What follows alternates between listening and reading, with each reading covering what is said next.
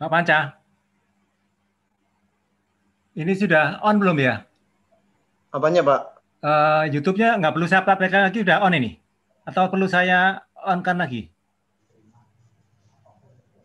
Maksudnya di on kan bagaimana? Nggak perlu ya? Dulu kayaknya saya harus on-kan lagi gitu. Di go live? Ah, Iya. Gitu.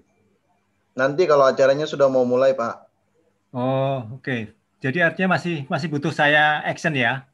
Hmm, ini baru ini baru terhubung saja, tapi hmm. belum streaming. Oh, oke okay, oke. Okay. Artinya tinggal on kan kan nanti ya?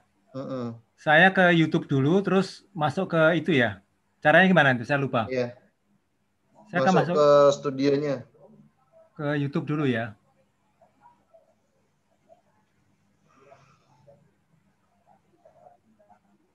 Ke catur.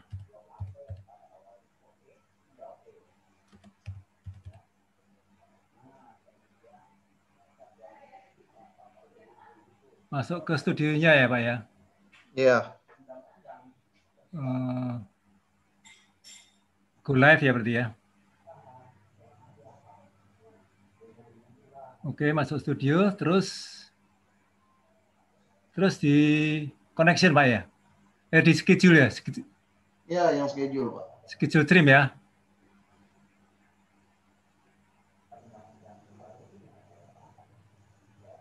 Oke. Okay.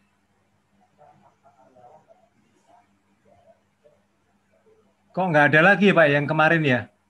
Oh ini dia.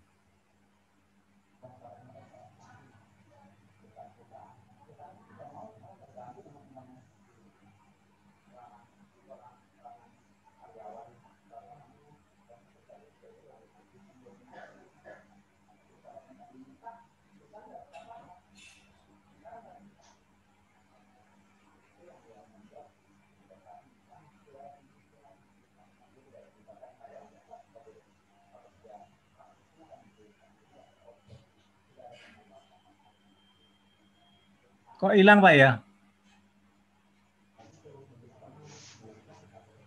Kalau nggak dihapus nggak mungkin hilang Pak. Oh, ini gambarnya masih ada tuh. Uh, gambarnya masih ada, diklik aja Pak ya? Judulnya yang diklik Pak. Judulnya? Oke. Okay. Oh ini udah jalan sekarang.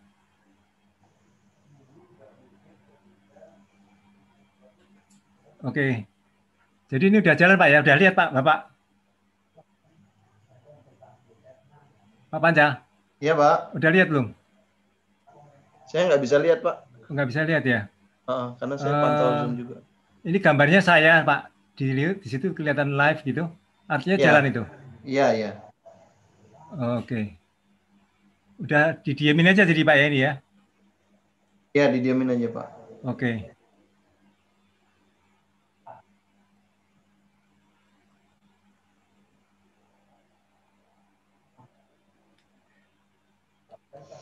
Udah, itu udah on ya Pak ya sekarang ya? Bapak lihat on nggak? Nggak bisa lihat saya Pak kalau nggak di share screen. Oke, okay.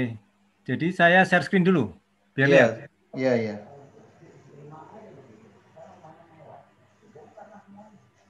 Nah, gimana Pak itu Pak posisinya? Oh, udah, udah, sudah. Udah, udah oke okay ya? Sudah, sudah. Oke, okay, berarti udah cukup ya gini ya? Sudah cukup. Oke. Saya nunggu orang-orang saya dulu nih.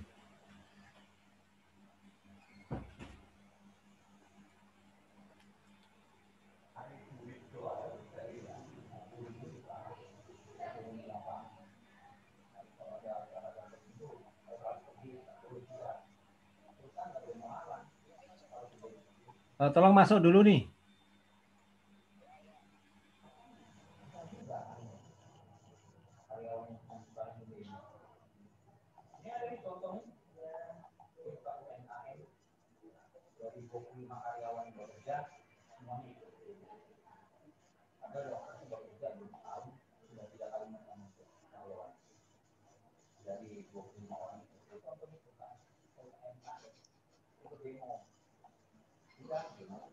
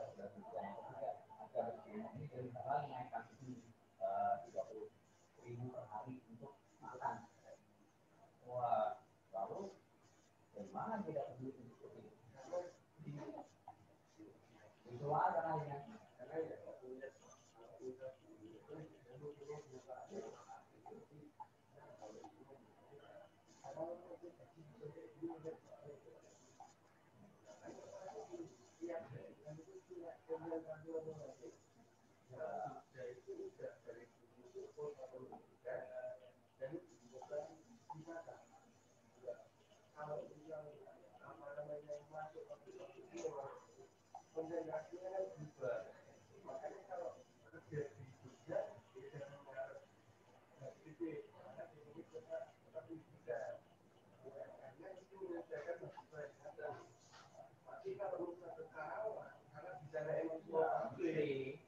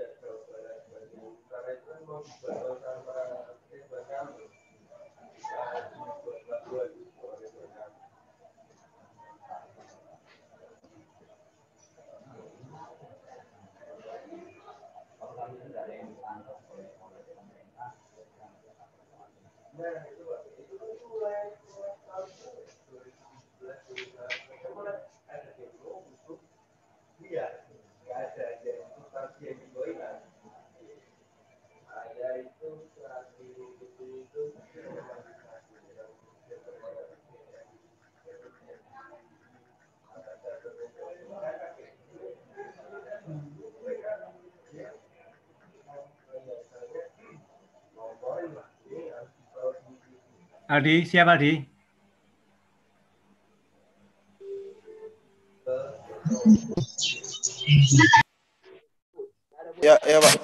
Nanti ya. ya nanti yang ini tampil tampilin Rido Pak. Rido baru masuk. Oke. Kontrol ya.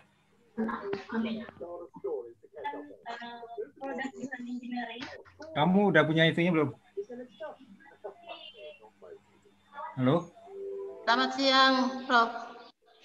Nah, udah jaya, soalnya ya. Makasih banyak. Kepala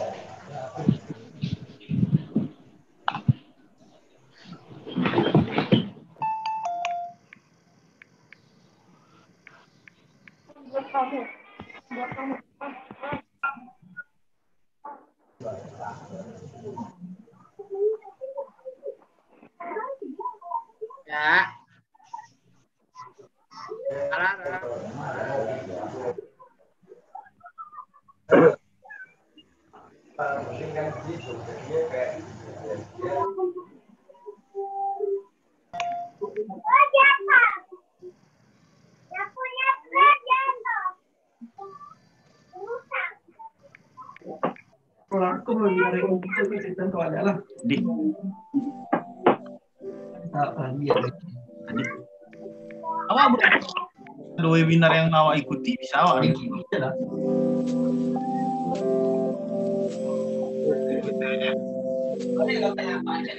Itu musim Jawa ini. Kena ngancak uh, pelakonnya. Mobile Legend. Saya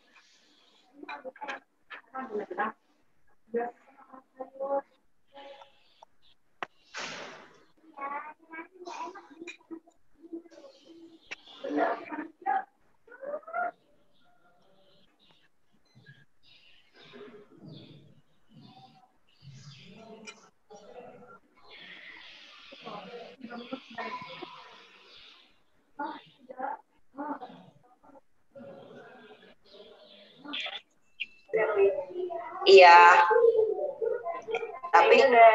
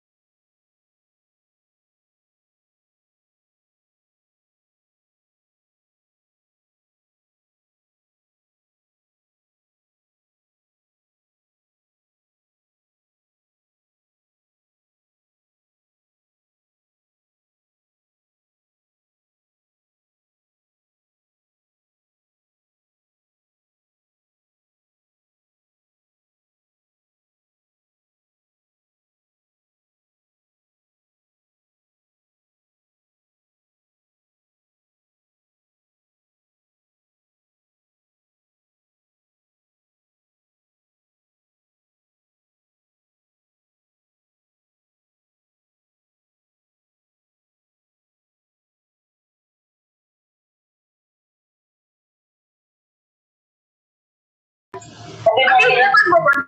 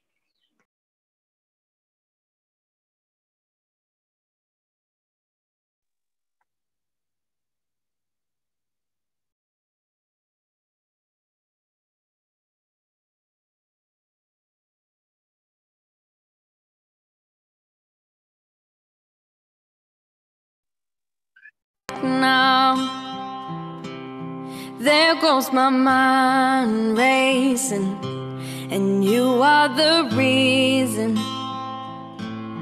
that I'm still breathing. I'm hopeless now. I'd climb every mountain and swim every ocean just to be with fix what I've broken. Oh, cause I need you to see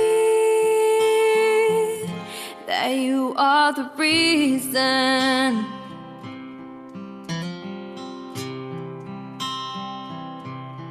There goes my hand shaking, and you are the reason. My heart keeps bleeding. I need you now. If I could turn back the clock, I'd make sure the light defeated the dark. I'd spend every hour of every day keeping you safe. I'd climb every mountain swim every ocean just to be with you and fix what I've broken.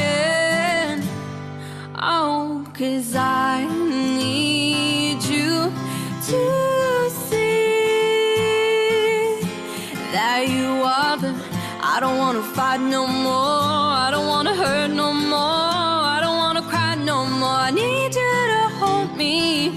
Just a little closer now. Come a little closer now. Come a little closer. I need you to hold me tonight.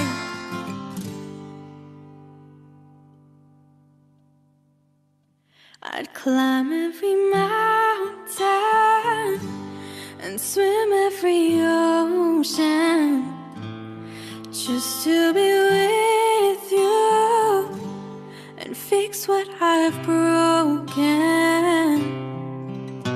Cause I need you to see that you are the reason. Loving can hurt. Loving can hurt sometimes. But it's the only thing that I know. When it gets hard, you know it can get hurt sometimes. It's the only thing that makes us feel alive. We keep this love in a photograph. We made these memories for ourselves. Where our eyes never close and our hearts never broken, and time's forever frozen still. So you can keep me inside the pocket of your ripped jeans, holding me closer till our eyes won't ever be alone. Wait for me to come home.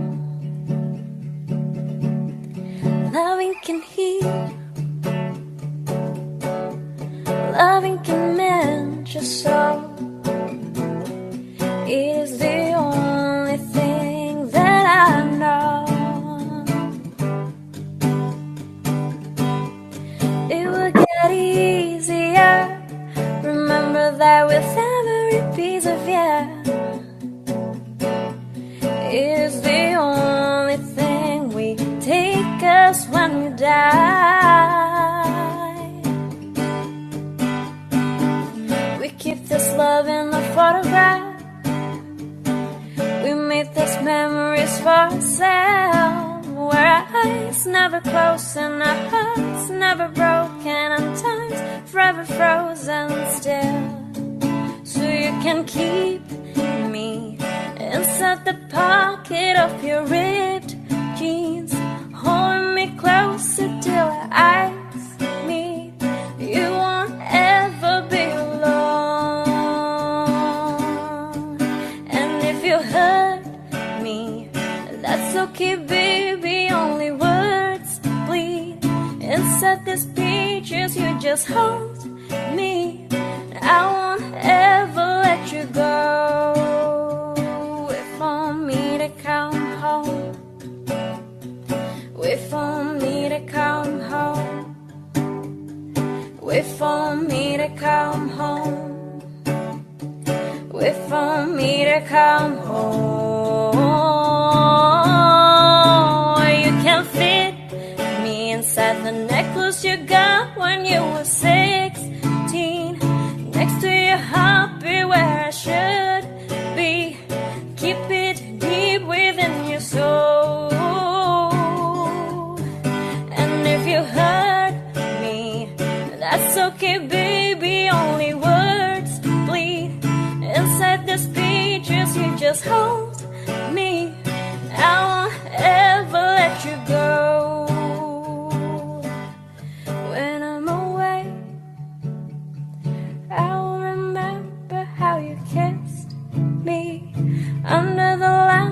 Back on Sixth Street, hearing you whisper through the phone. Wait for me to come home.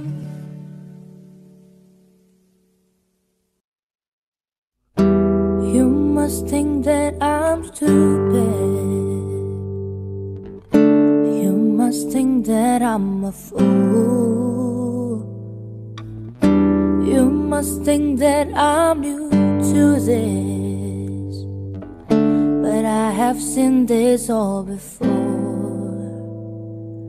I'm never gonna let you close to me, even though you mean the most to me. Cause every time I open up, it hurts. So I'm never gonna get too close to you, even when I mean the most to you. In case you go and leave me in the dirt. Every time you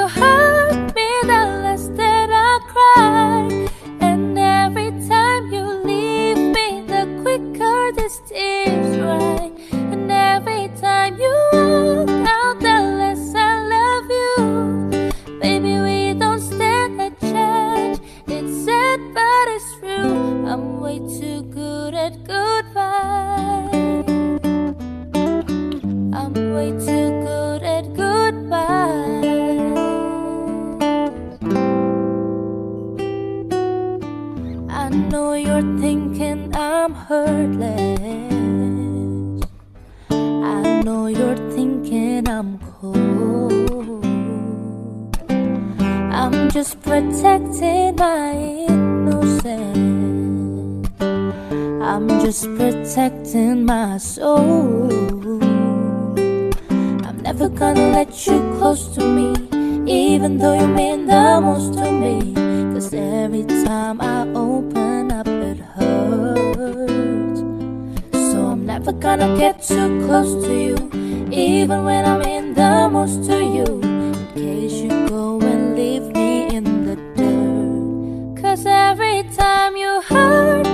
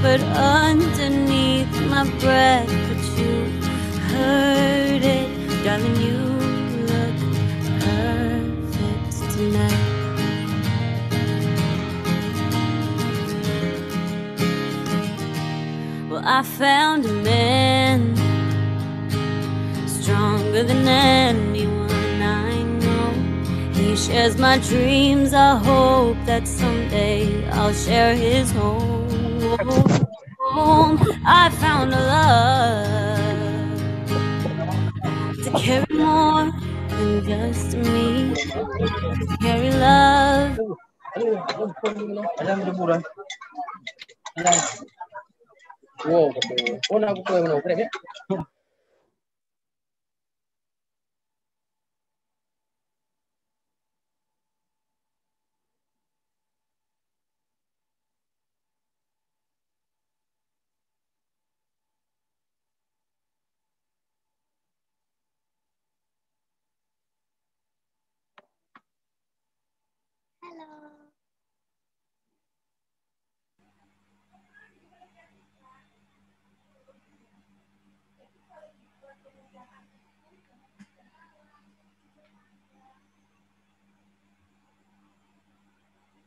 yang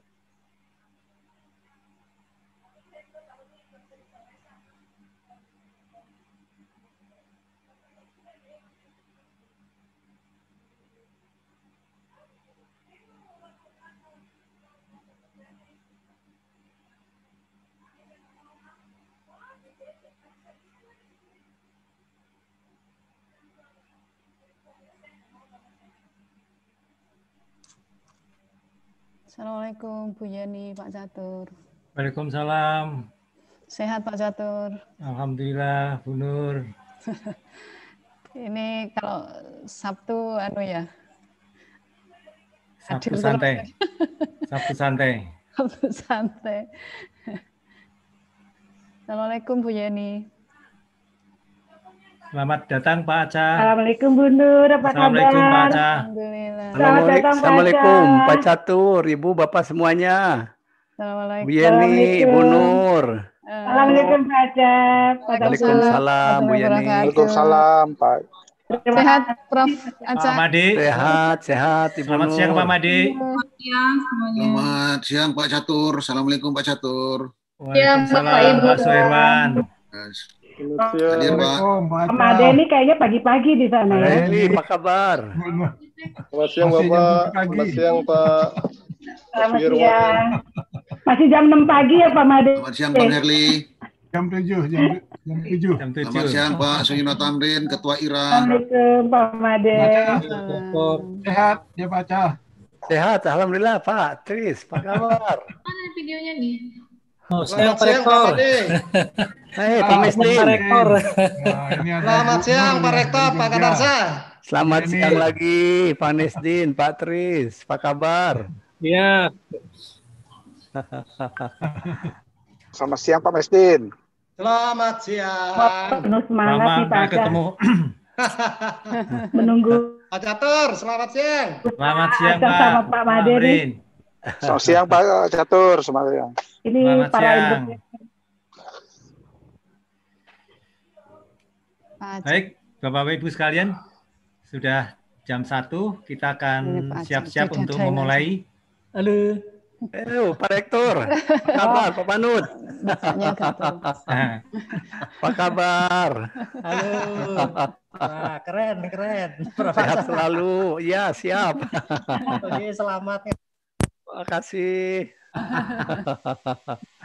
Selamat memberikan kuliah, Prof. Terima kasih. Siap, siap. Halo Pak Rektor. Iya, Pak. Panut. Apa kabar? Wah, Pak Ade, gimana ini Toyota? Makin Oh, sukses. baik. Aman. Aman Pak Panut. Oke, selamat, Ya. Pak. Paga, paga. Ya, Mari, mari. Baik, Bapak Ibu sekalian, kita akan segera mulai. Pak Made dan Pak Kadarsah sudah eh, mempersiapkan diri. Selamat siang. Assalamualaikum warahmatullahi wabarakatuh. Waalaikumsalam warahmatullahi wabarakatuh. Selamat siang. Salam sejahtera Siang. untuk kita semua. Selamat siang. Terima kasih Bapak Ibu sekalian yang telah menghadiri acara pelatihan eh, kompetensi teknik dan manajemen industri yang didukung oleh Yayasan Komunitas Teknik Industri Indonesia. Bapak Ibu sekalian, pada hari ini LPK Teknik dan Manajemen Industri telah merencanakan satu kuliah umum pencerahan yang akan dibawakan oleh Profesor Kadarsyah Suryadi, eh, Rektor ITB tahun 2005 sampai dengan 2020, dengan judul Inovatif and Agile Management. Bapak Ibu sekalian, eh, untuk pembukaan eh, hari ini, kami persilahkan eh, terlebih dahulu kepada Bapak Made Dana Tangkas untuk memberikan kata sambutan sekaligus memberikan satu eh, paparan singkat mengenai eh, apa yang disebut dengan eh, agile dan inovatif management di sisi Bapak Made Dana Tangkas sebagai Ketua BKTI dan juga Presiden Institut Otomotif Indonesia serta Presiden eh, IBAMA, IPIMA. Silakan Pak Made Dana Tangkas, waktu kami Ya. persilahkan. Ya, terima kasih Pak Catur. Assalamualaikum warahmatullahi wabarakatuh. Waalaikumsalam. Waalaikumsalam warahmatullahi wabarakatuh. Selamat pagi, salam sejahtera untuk kita semua dan Om Swastiastu. Eh, pada pagi Om hari yang berbahagia ini, eh, mari kita panjatkan puji syukur kehadirat Tuhan Yang Maha Esa. Kita bisa bertemu di acara yang sangat luar biasa, spektakuler hari ini ya eh, dengan pembicara top kita eh, Bapak Profesor Kadarsyah Surya- Suryadi. Ya sering kita panggil beliau itu dalam pergaulan Pak Acah yang kita banggakan dan senang sekali Pak. Kita berjumpa eh, di sini dengan para senior ya. Ada Pak Mesdin tadi ada Ibu Nur ya Pak Rektor eh, UGM Panut dan juga eh, Pak eh, Pak Panut. Dan juga eh, tentunya ada di sini banyak sekali senior yang hadir ya Pak Catur. Terima kasih nih kesempatan luar biasa bagi eh, kegiatan sebenarnya eh, PII ya eh, eh, BKTI ya terutama ini eh, kegiatan yang diselenggarakan Pak Catur di bawah eh, lembaga Yayasan Teknik Industri Indonesia di mana saya sa- sebagai salah satu founder eh, bersama Cok eh, Pak Cok ya almarhum dan juga Pak Didit eh, dan juga eh, Pak Bakti dan teman-teman yang lain dan termasuk sebagai pembina di Yayasan eh, YTII dan juga tentunya uh, lembaga LPK ini, LPK TMI ini juga berada di bawah uh, kegiatan uh, yayasan itu.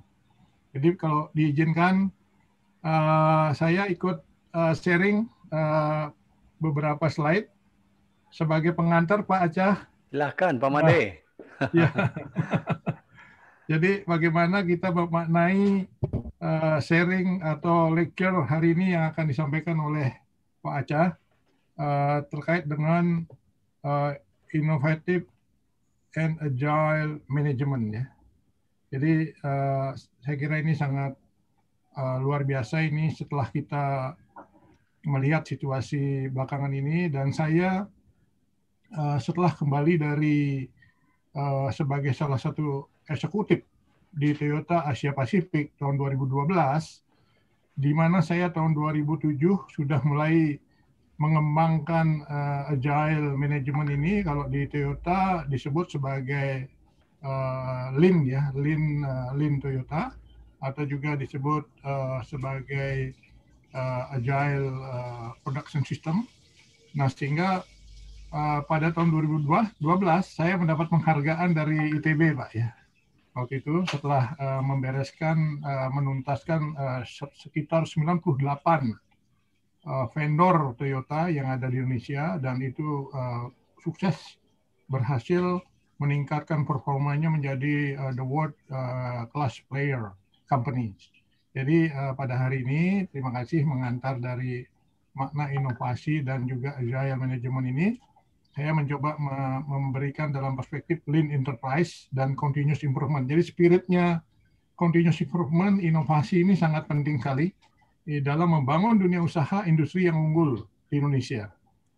Jadi uh, kebetulan selain itu juga saya uh, ikut aktif uh, di beberapa organisasi sebagai chairman industri logam, permesinan dan alat transportasi darat, laut, udara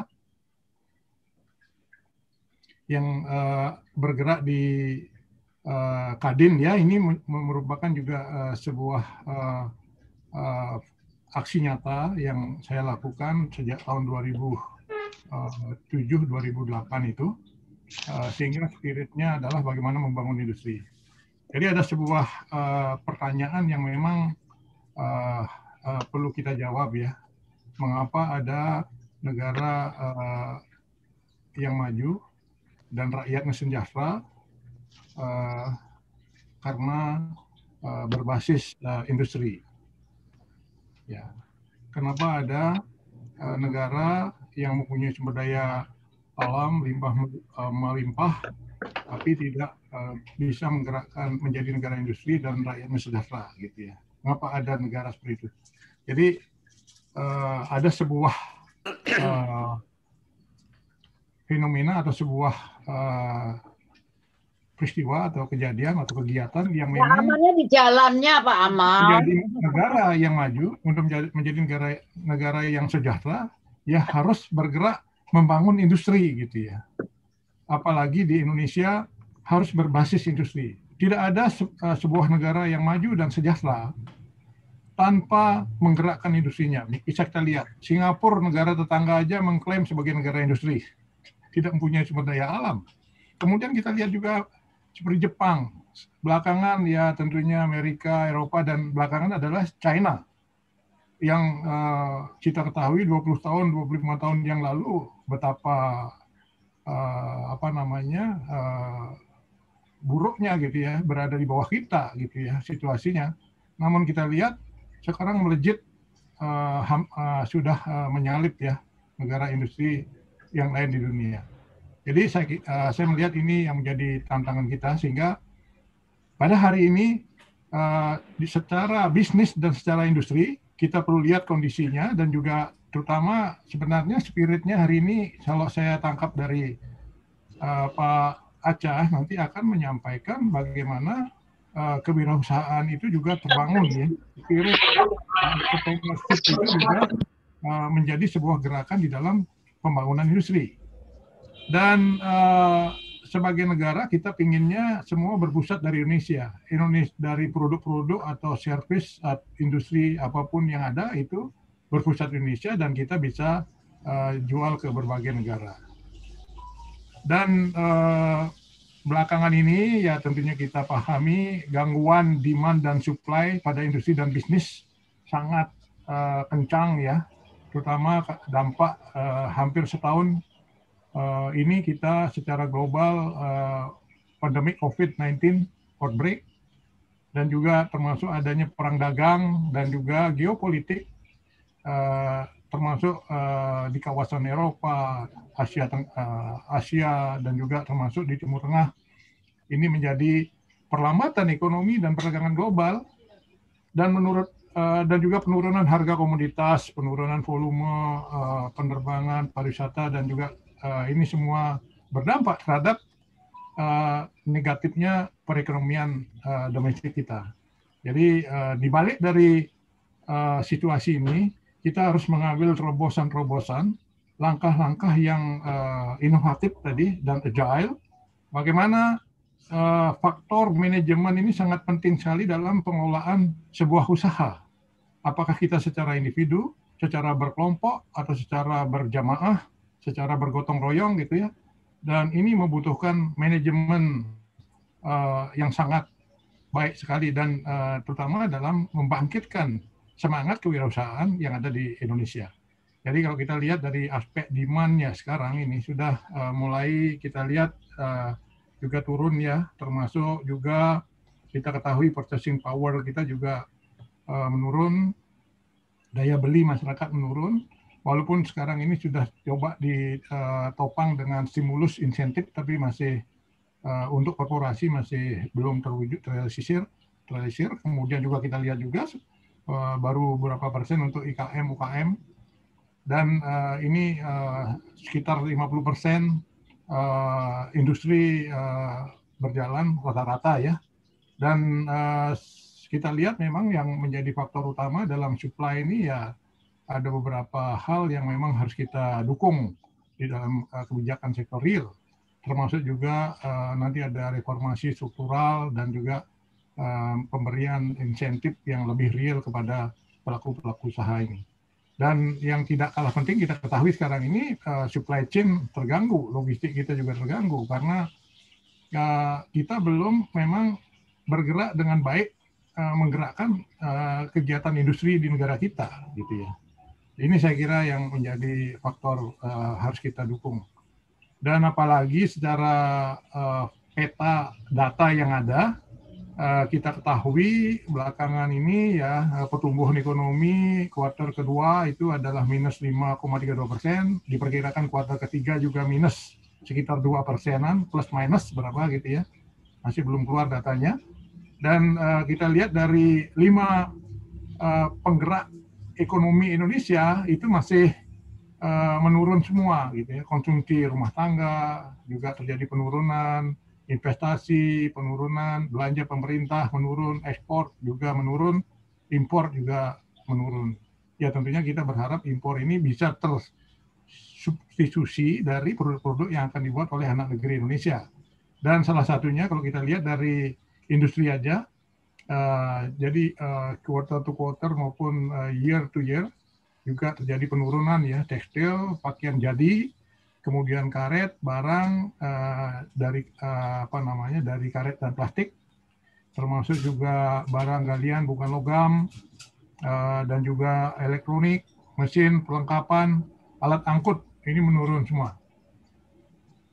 Jadi uh, yang menjadi problem kita adalah bagaimana uh, supaya tidak terjadi uh, dep apa namanya resesi ya resesi. Kalau minus minus minus terus nanti resesi kemudian jadi depresi. Nah ini yang yang kita uh, harapkan harus kita lawan dengan gerakan yang ada di masyarakat.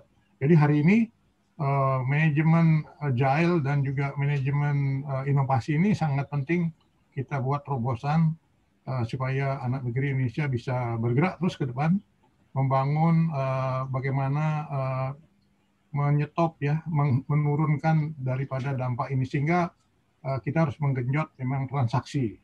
Transaksi digenjot kemudian uh, juga uh, kegiatan usaha ditingkatkan sehingga tidak terjadi PHK massal atau pengangguran. Ya sekarang sampai sekarang hampir 6 juta lebih ya PHK massal atau dirumahkan. Dan ini tentunya tanda-tanda ini sudah terjadi. Sehingga perlu kajian selanjutnya uh, untuk pemilahan berapa besar ekspor komoditas uh, sumber daya alam termasuk uh, produk manufaktur yang dibuat di uh, Indonesia dan negara tujuannya juga ke mana. Dan yang tidak kalah pentingnya adalah uh, kita perlu mengklasifikasikan import import daripada barang modal, bahan baku dan barang konsumsi yang ada saat ini. Jadi kalau bicara sebagai uh, produk dan service ini sangat uh, penting sekali bagi negara kita. Jadi in reality, who will uh, do this uh, project? Who will uh, conduct the improvement and apply uh, for the business in Indonesia? Nah ini the big question dari kita adalah ya ki harus kita sendiri di sini. Saya sangat senang di sini hadir 615 orang, 615 gitu. Bagus sekali ya. Ini kalau dari 615 ini aja nanti terinspirasi dengan hari ini uh, gratis ya Pak Catur ya. Gratis Pak. Dan kita harapkan terus-menerus nih gratis ini. Jadi kita pompa terus semangat rakyat Indonesia, spiritnya untuk memahami situasi dan bergerak bersama dari kita, oleh kita dan untuk negeri kita tercinta. Jadi uh, sebagai juga uh, yang kita ketahui ya memang uh, ada industri yang dengan demand tinggi, ada yang moderat, ada yang uh, hard hit atau suffering. Uh, sehingga ini perlu manajemen bisnis dan industri secara berpadu dan komprehensif dan juga mewujudkan peluang kewirausahaan bagi anak negeri Indonesia. Dan uh, seperti uh, situasi belakang ini, uh, maaf saya ikut menambahkan di sini, kebetulan saya sebagai pengurus Kadin ya. Uh, jadi sejak tahun lalu saya sudah ikut memberikan masukan-masukan kepada tim Omnibus Law gitu ya, yang uh, walaupun saya tidak masuk di dalam 137 nama uh, uh, anggota tim itu, tapi saya, Satgas itu, tapi saya secara uh, dari Kadin aktif sebagai uh, ketua komite tetap untuk ilmat ya memberikan masukan-masukan. Dan kita memang uh, mengusulkan salah satunya supaya omnibus law uh, kluster ketenaga kerjaan ini dibereskan dulu dengan jelas ya dengan dengan supaya semua uh, terkomunikasi dengan baik ya dari uh, para pelaku usaha supaya jelas dari kaum uh, buruh atau uh, tenaga kerja juga harus jelas, uh, perguruan tinggi, mahasiswa, uh, rakyat dan semuanya perlu jelas. Nah kita ingin mengedepankan sebenarnya tadinya substansi untuk uh, membangun industri, penyelamatan industri nasional adalah berbicara kemudahan perizinan berusaha. Seperti misalnya adanya uh, uh, pelayanan satu atap, lead time yang lebih cepat. Ya, kalau di Thailand tahun 2010 saya sebagai salah satu uh, ekspatriat atau pengusaha di sana, itu perizinan uh, usahanya cepat sekali, semua dapat karpet merah. Dan juga uh, belakangan ini uh, juga uh, sudah digerakkan hanya dalam satu uh, satu satu jam ya, itu untuk mengurus uh, apa namanya perizinan ekspatriat itu cukup satu jam dengan satu atap. Nah itu hal-hal yang uh, sangat uh, penting di dalam kegiatan usaha. Kemudian kebijakan investasi juga mengedepankan kepemilikan grandfather clause. Jadi ada kepemilikan ownership oleh anak negeri Indonesia lebih banyak. Kemudian insentif, fasilitas dan kemudahan, penetapan industri prioritas dan strategis, uh, termasuk Undang-Undang Perindustrian uh, nomor 3 uh, nomor 4 tahun 2000 uh, nomor 3 tahun 2014. Kemudian ada RIPIN, Perpres, KBLI, lima digit dan seterusnya.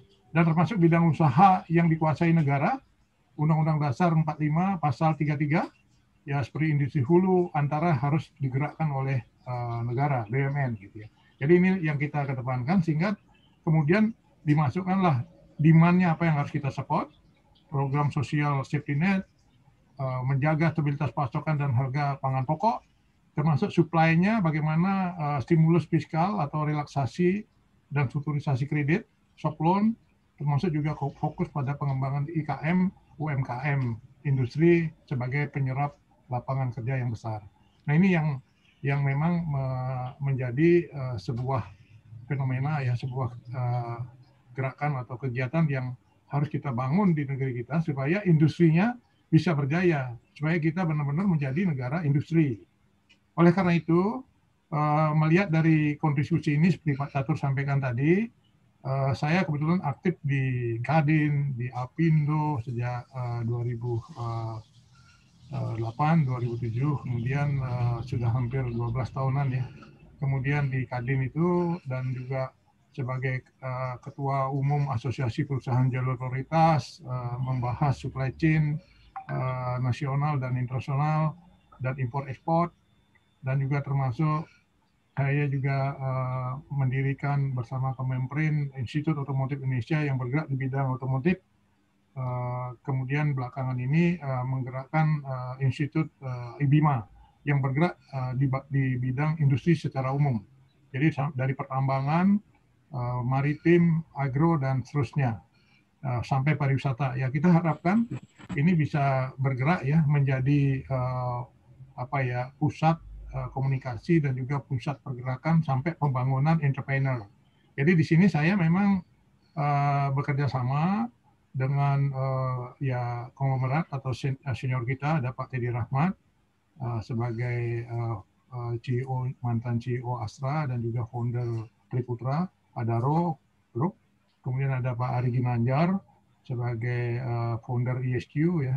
Ya kita uh, bagaimana menggerakkan uh, semua uh, di masyarakat nanti kegiatan-kegiatan lean yang juga nanti menjadi uh, agile manufacturing system dan kita harapkan bisa memberi kontribusi kepada bangsa.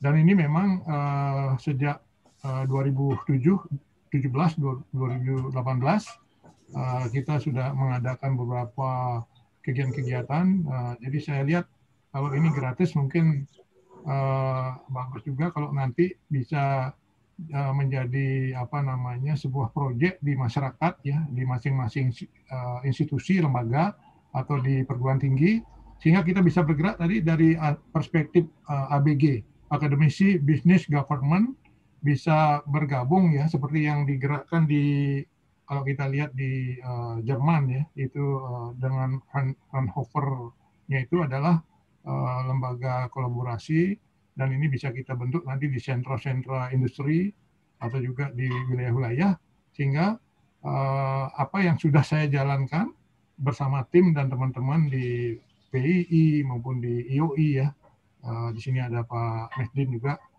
bisa kita uh, sebarkan ke seluruh Indonesia. Jadi ibaratnya kalau kita mau mengaduk gula di dalam suatu gelas, ya cukuplah sendok ini kita pakai gitu. Tapi kalau mau mengaduk uh, industri di negara kita, nah kita perlu uh, sapu jagat gitu ya, sapu jagat untuk mengaduk supaya uh, industri kita itu mempunyai bentuk uh, karakter yang jelas dengan uh, pola manajemen yang jelas uh, sesuai dengan budaya Indonesia. Oleh karena itu, uh, dalam hal ini uh, penting sekali manajemen inovasi, agile, continuous improvement uh, kita jalankan uh, bersama-sama dengan masyarakat kita sesuai dengan budaya Indonesia.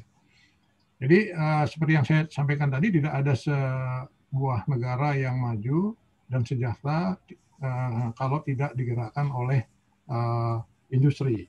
Nah, untuk itulah kita perlu menguasai manajemen inovasi, perlu kita mempersiapkan teknologi, kemampuan teknologi sehingga innovation driven ini bisa kita kembangkan terus untuk uh, menghadapi sekarang ini kita jangan sampai terjebak kepada middle income trap. Ya apalagi pendapatan per kapita kita hanya masih 4.000 US dollar per kapita. Nggak tahu sekarang apakah menurun ya.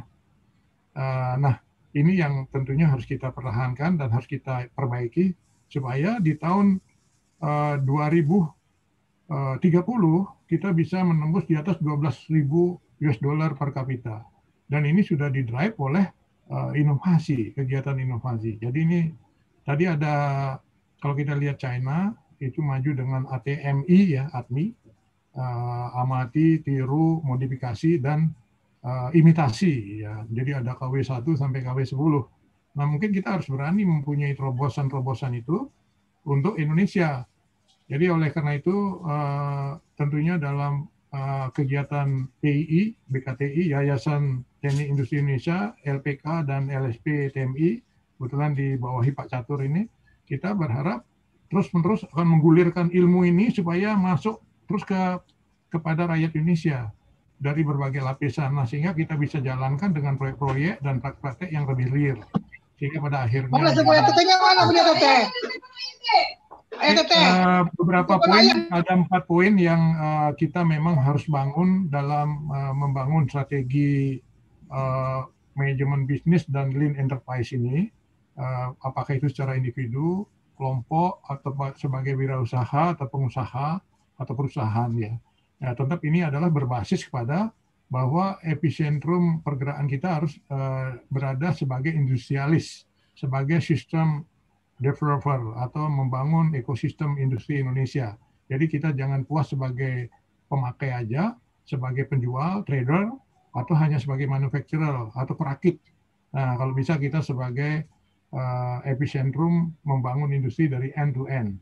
Dan ini dibutuhkan memang uh, kegiatan lean gitu ya, uh, di mana membuat apa yang dibutuhkan, uh, yang bisa dijual, sejumlah yang dijual pada saat yang dijual. Dan ini harus mem, uh, membuat uh, perbaikan di seluruh value stream uh, kegiatan perusahaan. Jadi dari end to end nilai tambahnya atau yang ada yang uh, pemborosan, mubazir, yang tidak efisien atau tidak teratur atau beban berlebihan harus kita perbaiki. Nah inilah hal yang perlu kita kembangkan. Jadi secara perspektif sebenarnya ada empat hal itu adalah kita perlu merancang nanti policy management, direction daripada manajemen, direction uh, dari kebijakan perusahaan. Mau ke mana? Apakah mau uh, membuat bisnisnya uh, efisien, berapa persen, cost reduction berapa persen, lead time-nya turun berapa persen, termasuk juga kegiatan-kegiatan uh, penggunaan teknologi yang tepat guna sehingga bisa meningkatkan profit itu berapa persen. Nah ini yang harus kita hitung. Kemudian itu harus kita bangun yang yang kedua ya memang nilai-nilai tadi management way, business way. Jadi uh, seperti sekarang ini kita masih perusahaan Jepang menggunakan manajemen way Jepang, perusahaan Amerika menggunakan manajemen way Amerika. Saya sejak 2005 diskusi dengan uh, Profesor Jeffrey Licker waktu itu uh, yang menulis buku Toyota W dari Amerika, 20 tahun meneliti Toyota ya. Akhirnya uh, bisa diambil kesimpulan bahwa nilai-nilai uh, ini sangat penting sekali gitu ya. Values ini sangat penting. Uh, seperti jujur, dipercaya, adil, kerjasama, peduli, Uh, termasuk disiplin, bertanggung jawab. Nah, ini sangat penting sekali. Sehingga di dalam pengelolaan perusahaan harus kita uh, kembangkan nilai-nilai itu. Termasuk nanti prakteknya, sistemnya. Oke, dan juga termasuk yang tidak kalah penting adalah pendampingan. Uh, pergi uh, belusukan gitu ya. Real fact, real place, real thing. Nah, ini yang sangat penting sekali. Nah, sehingga ini uh, menjadi sebuah uh, empat kegiatan ini menjadi terpadu dengan pengembangan keilmuan teknologi yang ada di setiap uh, orang maupun kelompok tadi. Sehingga perlu dibentuk proyek, network, uh, dan juga fasilitator, uh, mentoring ya, sehingga ini akan bergulir menjadi sebuah uh, bola salju dari kecil ya menjadi rumah sebesar rumah menjadi sebesar bukit menjadi sebesar gunung.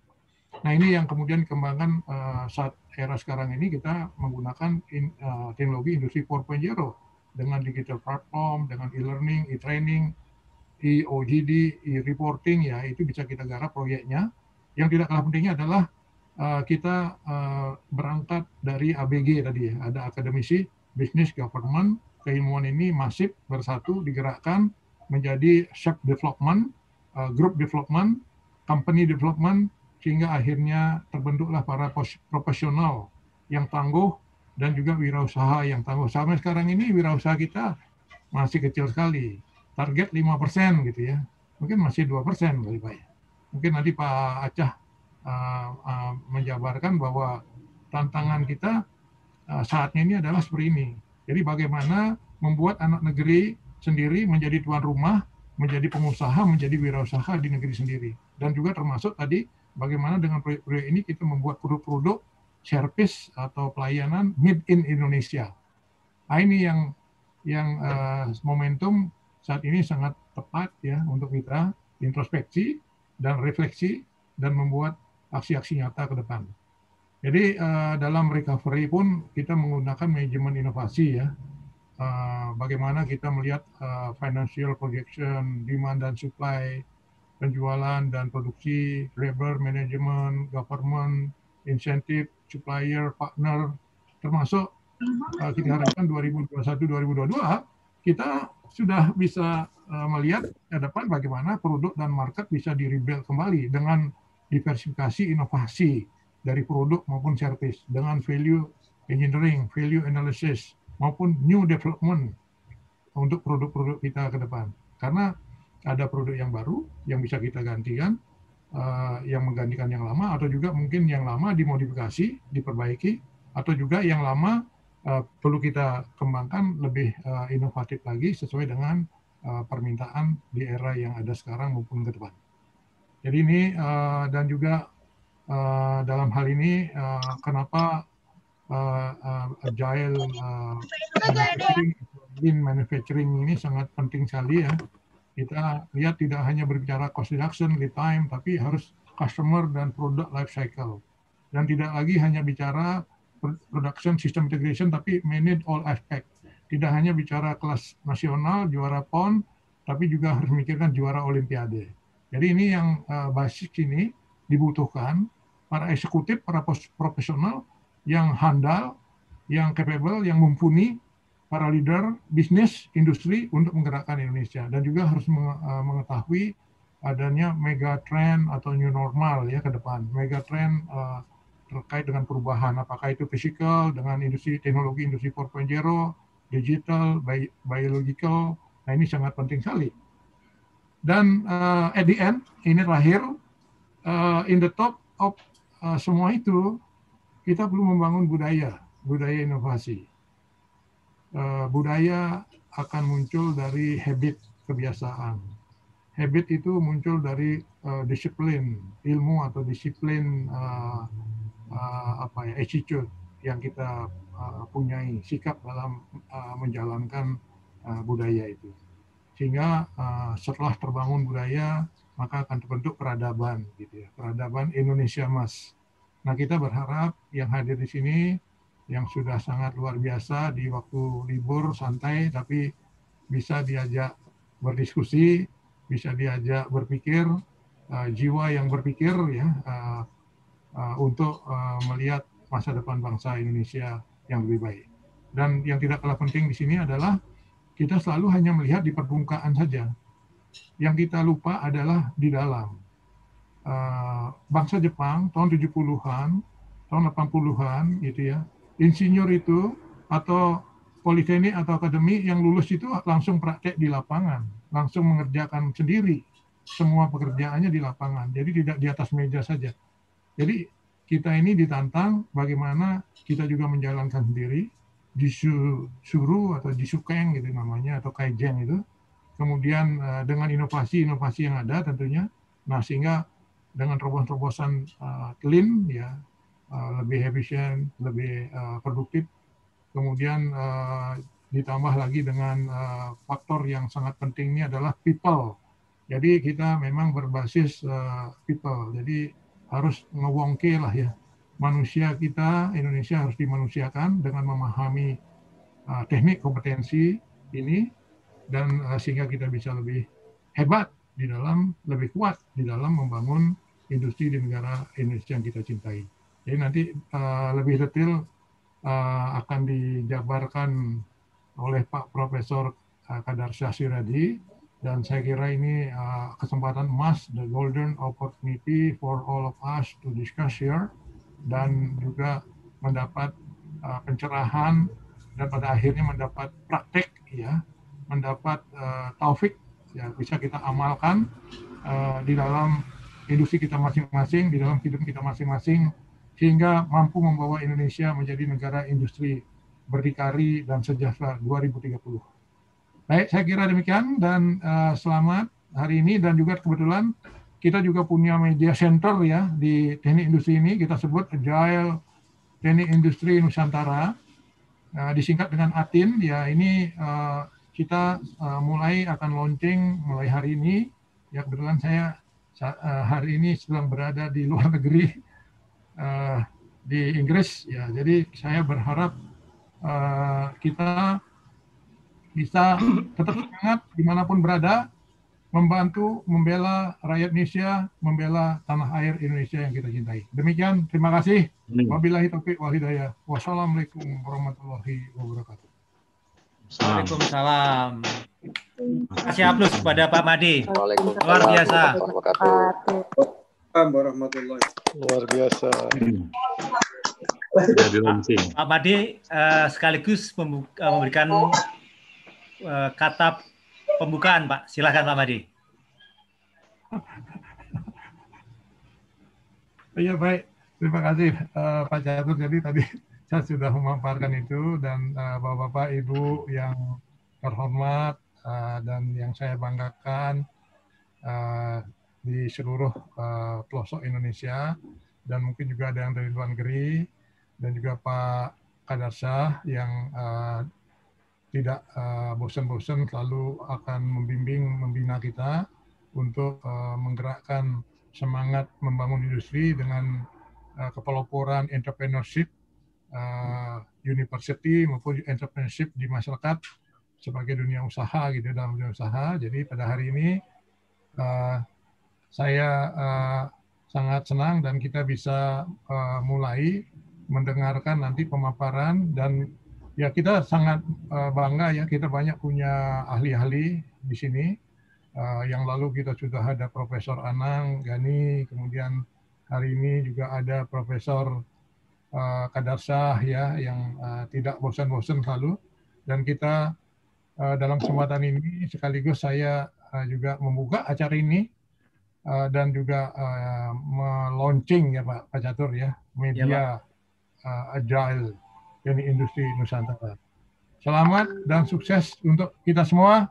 Semoga Amin. yang kita usahakan mendapat bimbingan petunjuk dan ridho Allah Subhanahu wa taala. Terima kasih. Terima kasih Pak Madi. Kita tutup. Terima kasih. Terima kasih sekali lagi Pak Madi. Luar biasa. Luar biasa Kita Pak Madi. Kita foto bersama dulu Pak Catur. Oh, boleh, boleh. Baik. Bersama, foto bersama. Silakan untuk foto bersama. Oke, 700 orang untuk foto bersama. Silakan dibuka videonya. Tolong Mas Rido. Ayo, Bu. Ya, silakan. Satu. Bayangin aja registrasi aja biar dua, jurnal tiga. Terakreditasi itu bayar loh Pak. Satu, dua, Belum kalau tiga, layar, ya gitu-gitunya layar ya. tiga, satu, dua, tiga, layar empat, satu, dua, tiga. Cukup satu-satu Pak. Oke, ya. Silakan masing-masing Ada 20 foto. Ada 28 layar, silakan foto masing-masing aja dulu, Pak. Ya. Ya, ada 707 peserta. Ada 708 peserta soalnya. 708, iya. Baik, terima kasih. Kita lanjutkan acara kita. Uh, untuk itu, uh, sebelum Pak Acah akan memaparkan uh, materinya, saya uh, mohon izin untuk memberikan sedikit pengantar mengenai uh, lembaga pelatihan kompetensi teknik dan manajemen industri.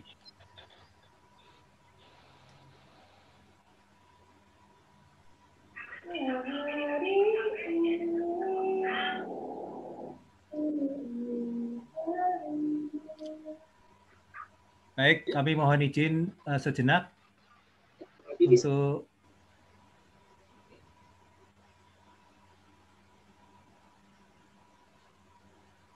Ya.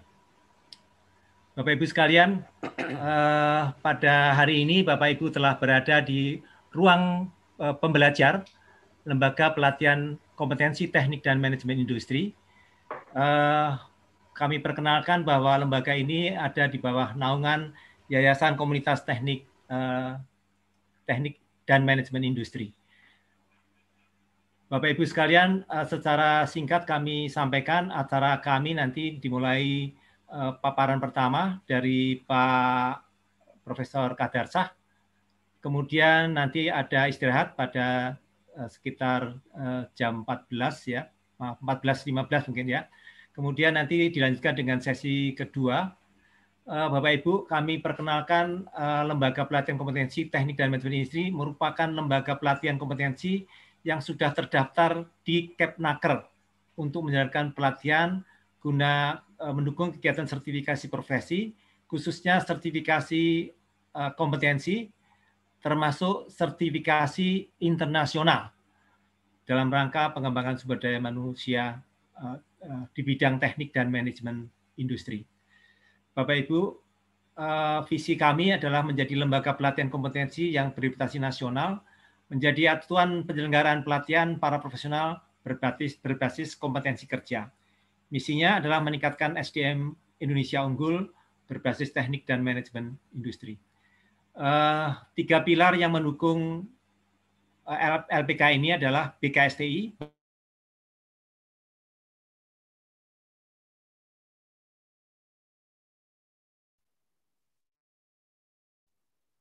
Bukan 20 persen dia bisa.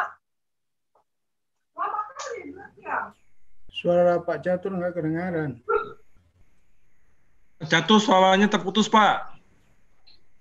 Hilang.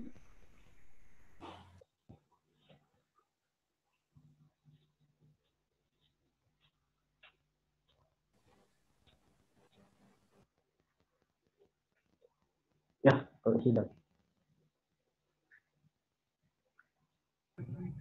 Pak Catur putus ya suaranya. Iya, putus, Pak. Oh. Ini Uh, kayaknya mohon maaf para peserta, Ya. sepertinya Pak Catur punya trouble di jaringan jaringan isu kayaknya. Nanti Ya, ya. kita uh, tunggu sejenak dulu. Sedang saya hubungi juga.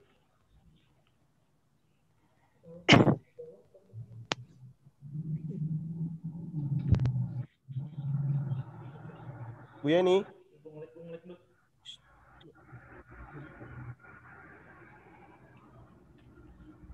Ya Mas Aldi. Uh, Pak Catur kayaknya punya trouble, punya isu-isu di jaringan, Bu. Iya dia aja yang mikir. Dia enggak berguna. Sebentar Pak nggak- Catur. Ini Bu Yeni kalau nggak muncul ini bisa mulai aja. Ya langsung aja ke Pak Ancah kayaknya, Bu. Ya. Ah. Eh, terima kasih Pak Made. Mungkin nanti eh, eh, untuk terkait dengan perkenalan Dia bekerja apa? LPK TNI eh, dan tadi juga sudah disampaikan. Untuk itu kita langsung eh, kepada eh, Bapak Profesor Kadarsah diper- memaparkan eh, presentasi untuk pelatihan ya Pak. Mabuknya dia lah itu karena si Tito sering benar Baik, yang terima kasih Bu Yeni. Apakah suara saya bisa didengar? Jelas, Untuk- jelas, Prof. Jelas, Prof. Jelas, Prof. Prof. Jelas. Baik, Jelas, selam- Pak. Assalamualaikum Jelas. warahmatullahi wabarakatuh. Waalaikumsalam warahmatullahi wabarakatuh. Selamat sore, salam sejahtera untuk kita semua. Yang saya hormati Pak Catur, Pak Made, pimpinan dari Yayasan Komunitas Teknik Manajemen Industri beserta semua jajarannya. Dan juga di sini hadir para rektor, ada Pak Rektor Unpas, Profesor Edi Yusuf, beliau senior saya di Bandung. Prof. Edi, selamat berjumpa.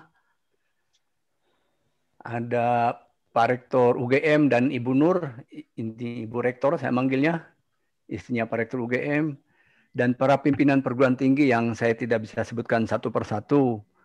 Ada perwakilan dari Universitas Pertahanan di sini Pak Suyono Tamrin, Pak Edi, Pak Suhirwan, Pak Soni Iskandar. Lalu juga ada yang dari Barat, dari Aceh, Ibu Wina Nur Afifah dan kawan-kawan. Dari Tengah, dari Gorontalo juga ada di sini, Pak Zulfakar. Dari Timur, dari Flores, ada Ibu Maria Goretti. Dari Papua juga ada di situ. Pak Yani dari Papua, Pak Sur- Surya, dan juga para senior saya. Ada Ibu Didin Suhardini, Prof. Herli, Pak Trismadi, Pak Mesdin Simarmata, Pak Jani, dan semuanya. Ibu dan Bapak sekalian, dalam waktu yang terbatas ini, izinkan saya sharing. Saya kira ini bukan latihan, karena kalau saya melatih, saya berdosa. Bapak Ibu sudah pakar semuanya. Saya hanya sharing saja. Di sini ada 717 peserta. Mohon izin saya akan sampaikan beberapa PowerPoint untuk kita semua.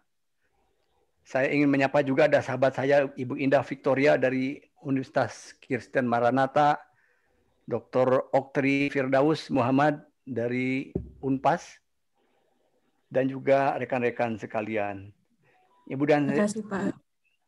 Baik, Ibu dan Bapak sekalian, mari kita lihat sama-sama. Eh, apakah sudah bisa dilihat? Bisa, Prof. Baik. Bisa, Pak. Bisa, bisa. Bisa, bisa, Pak. Baik. Bisa, Prof. Kelihatan. Sudah jelas. Mohon izin nanti ingin menyampaikan sharing beberapa pengalaman yang pernah kita jalani bersama khususnya di ITB. Tapi sebelumnya saya ingin menyampaikan bahwa hari ini adalah hari yang unik. Jadi Pak Made, Pak Catur, Bu Yeni, Pak Rido dan semuanya ini hari yang baik hari ini karena angka 10 dan angka 20 berjejer bersama-sama. Tanggal 10 bulan 10 tahun 2020 dan mungkin tidak akan terulang kembali sampai kapan pun juga. Kita beruntung bisa ketemu hari ini. Amin. Ada beberapa agenda yang akan kita lihat bersama-sama siang hari ini. Yang pertama adanya global trend entrepreneurship yang terjadi di berbagai belahan bumi. Yang kedua, apa itu entrepreneurial university? Yang ketiga, model-model atau contoh-contoh entrepreneur university di dunia. Yang keempat, apa yang menjadi impact dampak ekonomi dari entrepreneur university? Dan yang kelima adalah saya ingin sharing pengalaman kecil yang pernah dijalani lima tahun terakhir di Bandung. Ibu dan Bapak sekalian, mari kita masuk dalam agenda pertama yaitu global trend dari entrepreneurship. Mungkin Bapak Ibu ada yang pernah melihat juga PowerPoint ini atau informasi ini, mohon anggap saja ini sebagai refreshing. Belum berubah. Jadi ini salatnya belum berubah. Ibu dan Bapak sekalian, global trend yang terjadi di belahan bumi uh, terjadi di berbagai benua. Yang pertama UNESCO tahun 88 mengatakan bahwa uh, entrepreneurial skill dan inisiatif itu sebaiknya menjadi perhatian utama dari dunia pendidikan tinggi. Jadi 32 tahun yang lalu kita sudah diingatkan oleh UNESCO. Lalu 20 tahun yang lalu Uni Eropa mengatakan bahwa entrepreneurship adalah satu dari sekian banyak basic skill yang harus disiapkan melalui lifelong learning. Jadi bukan hanya oleh kampus tapi juga oleh lembaga apa pun untuk mendidik masyarakat luas tentang entrepreneurship. Tentu di dalamnya termasuk untuk UMKM. Nah, yang menarik di Amerika, walaupun mereka sudah maju, Presiden Obama tahun 2012 menyadarkan masyarakat Amerika tentang pentingnya entrepreneurship. Slide-nya belum berubah, Bro. Belum berubah. Ya. Ini masih yang slide UNESCO dan US. Masih slide pertama yang tanya apa? Maaf. Masih slide Foto pertama. Masih yang pertama ya? Iya. Iya, Prof. Iya. Sudah masuk kan sekarang? Masih cover. Belum, Prof. Belum, belum. Masih yang pertama. Belum. Di saya Belum, sudah sudah pindah ini mungkin masih di perjalanan slide-nya. Mungkin eh, internetnya bermasalah ini di kami. Di tempat lain udah apakah slide-nya sudah masuk UNESCO dan kawan-kawan? Belum. Belum. Belum. Ada. Belum. Belum. Belum. Sebentar. NTT belum. Oh, Belum, Prof. ya, ya, ya. belum bergerak, Prof. Baik. Jakarta saya- juga belum. Belum ya. Baik. Kupang belum. baik, baik. Saya kira saya akan matikan video saya dulu supaya tidak berat bebannya.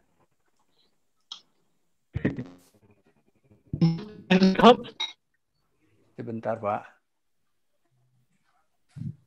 Mungkin peserta yang lain juga perlu ditutup videonya biar nggak berat ke Prof. Ya, saya su- sudah matikan kamera saya. Oh, ya. Apakah sudah jelas sekarang? Uh, Prof, mungkin Prof harus download dulu, Prof. Ini masih Belum. dalam bentuk uh, di Internet Explorer. Iya. Back dulu, baru nanti lagi. Belum diganti, Prof. Sebentar, sebentar. Matikan dulu Atau aja. atau di share dari host bisa nggak kan punya file saya? Ya. Ada Bu Yeni di Iya, sini? ya. Bisa. dari. Betul, share dari host saja. Host aja Ya, silakan ya. Saya stop di sini ya. Yep. Baik. Ada, ada. Baik. Ini cuacanya Masih sedang dijawab? mendung. Bu Yeni silakan pakai. Iya, betul. Cuaca sedang mendung, jadi bandwidthnya ikut mendung ini. Silakan Bu Yeni. Jumlahnya banyak, Prof. 733. Iya, iya, iya betul. Dari Mas Indra aja, Mas. Silakan Bu Yeni. Slide-nya ada di Yang PDF aja supaya ringan. Prof, buka videonya biar kita kangen ngelihat. Siap, Pak Mesdin. sambil silaturahmi ini, sambil menunggu Bu Yeni lihat wajah Pak Mesdin saya. Sambil nunggu anu ya, nunggu Bu Yeni. Makasih Pak Mesdin. Kelihatannya ini berat Pak, ini banyak nih pesertanya ya. Jadi Ya.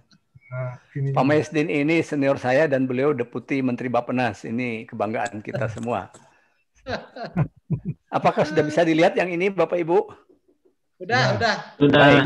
Slide pertama. Silahkan lanjut Bu Yeni, slide slide berikutnya. Loncat ke slide berikutnya, silakan. Nggak bergerak juga. Sudah. Belum bergerak juga, Pak. Halo, Prof. Ini sudah sudah kelihatan.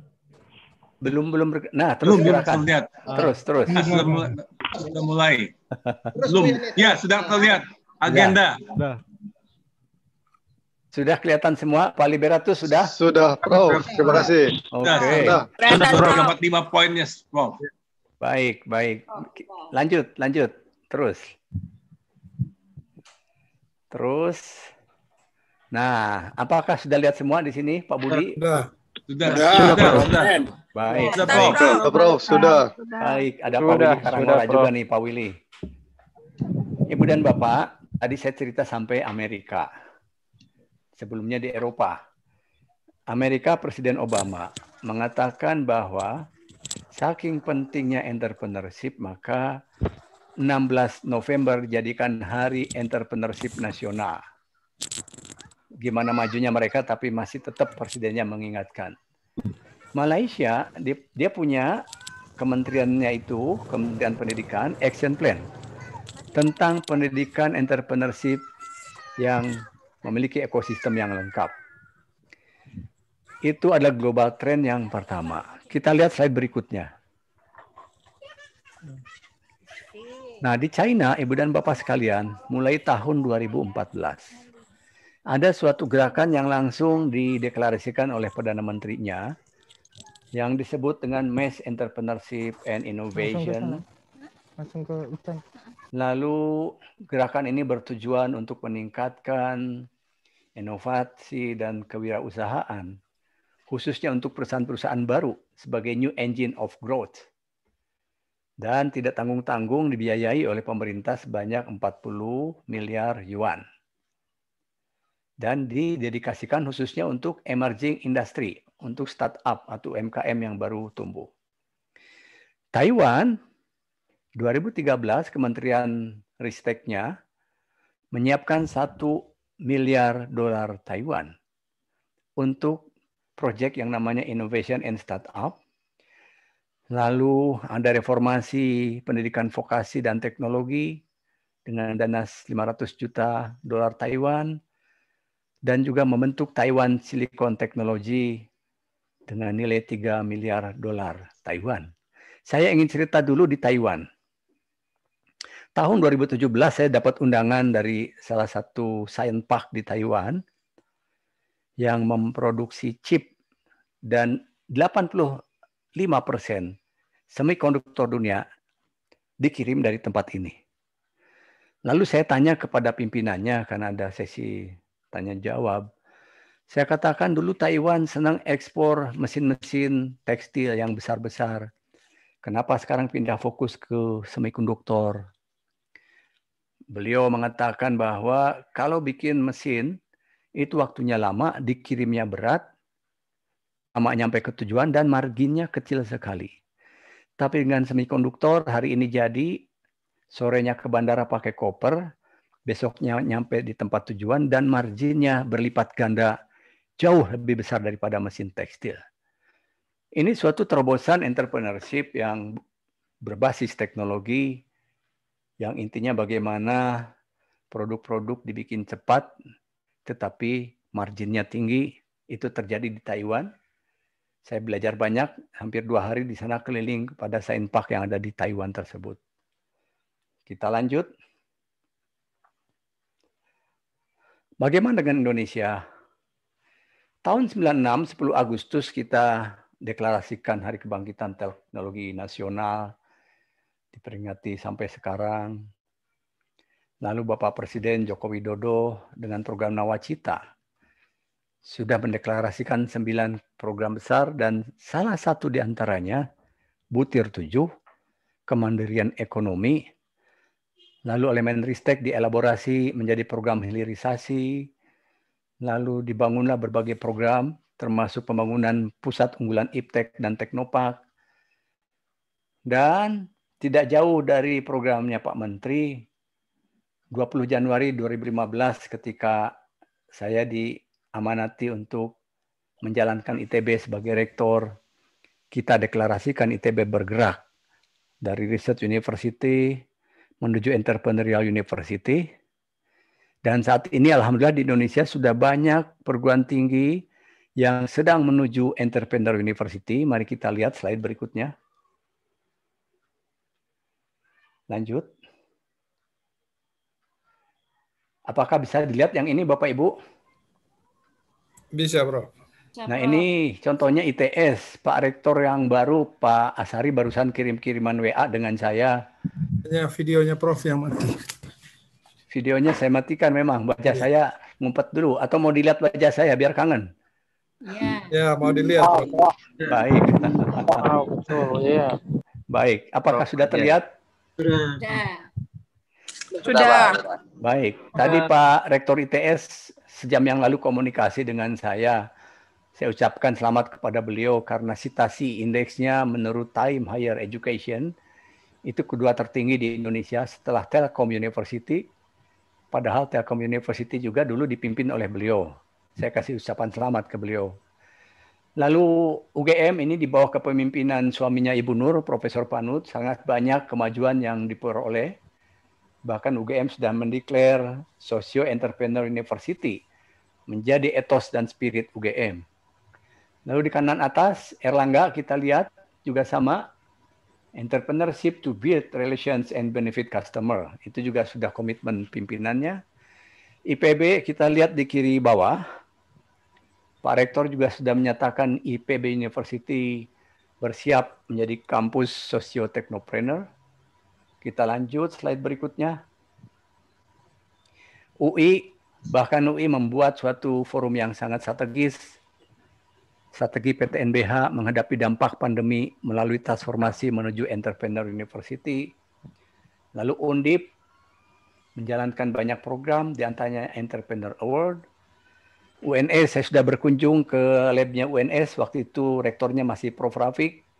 Lalu tadi pagi rektor yang berikutnya Prof. Jamal juga sempat komunikasi. UNS punya laboratorium entrepreneur yang namanya produksi baterai lithium yang sangat penting untuk masa depan energi kita. Kita lanjut.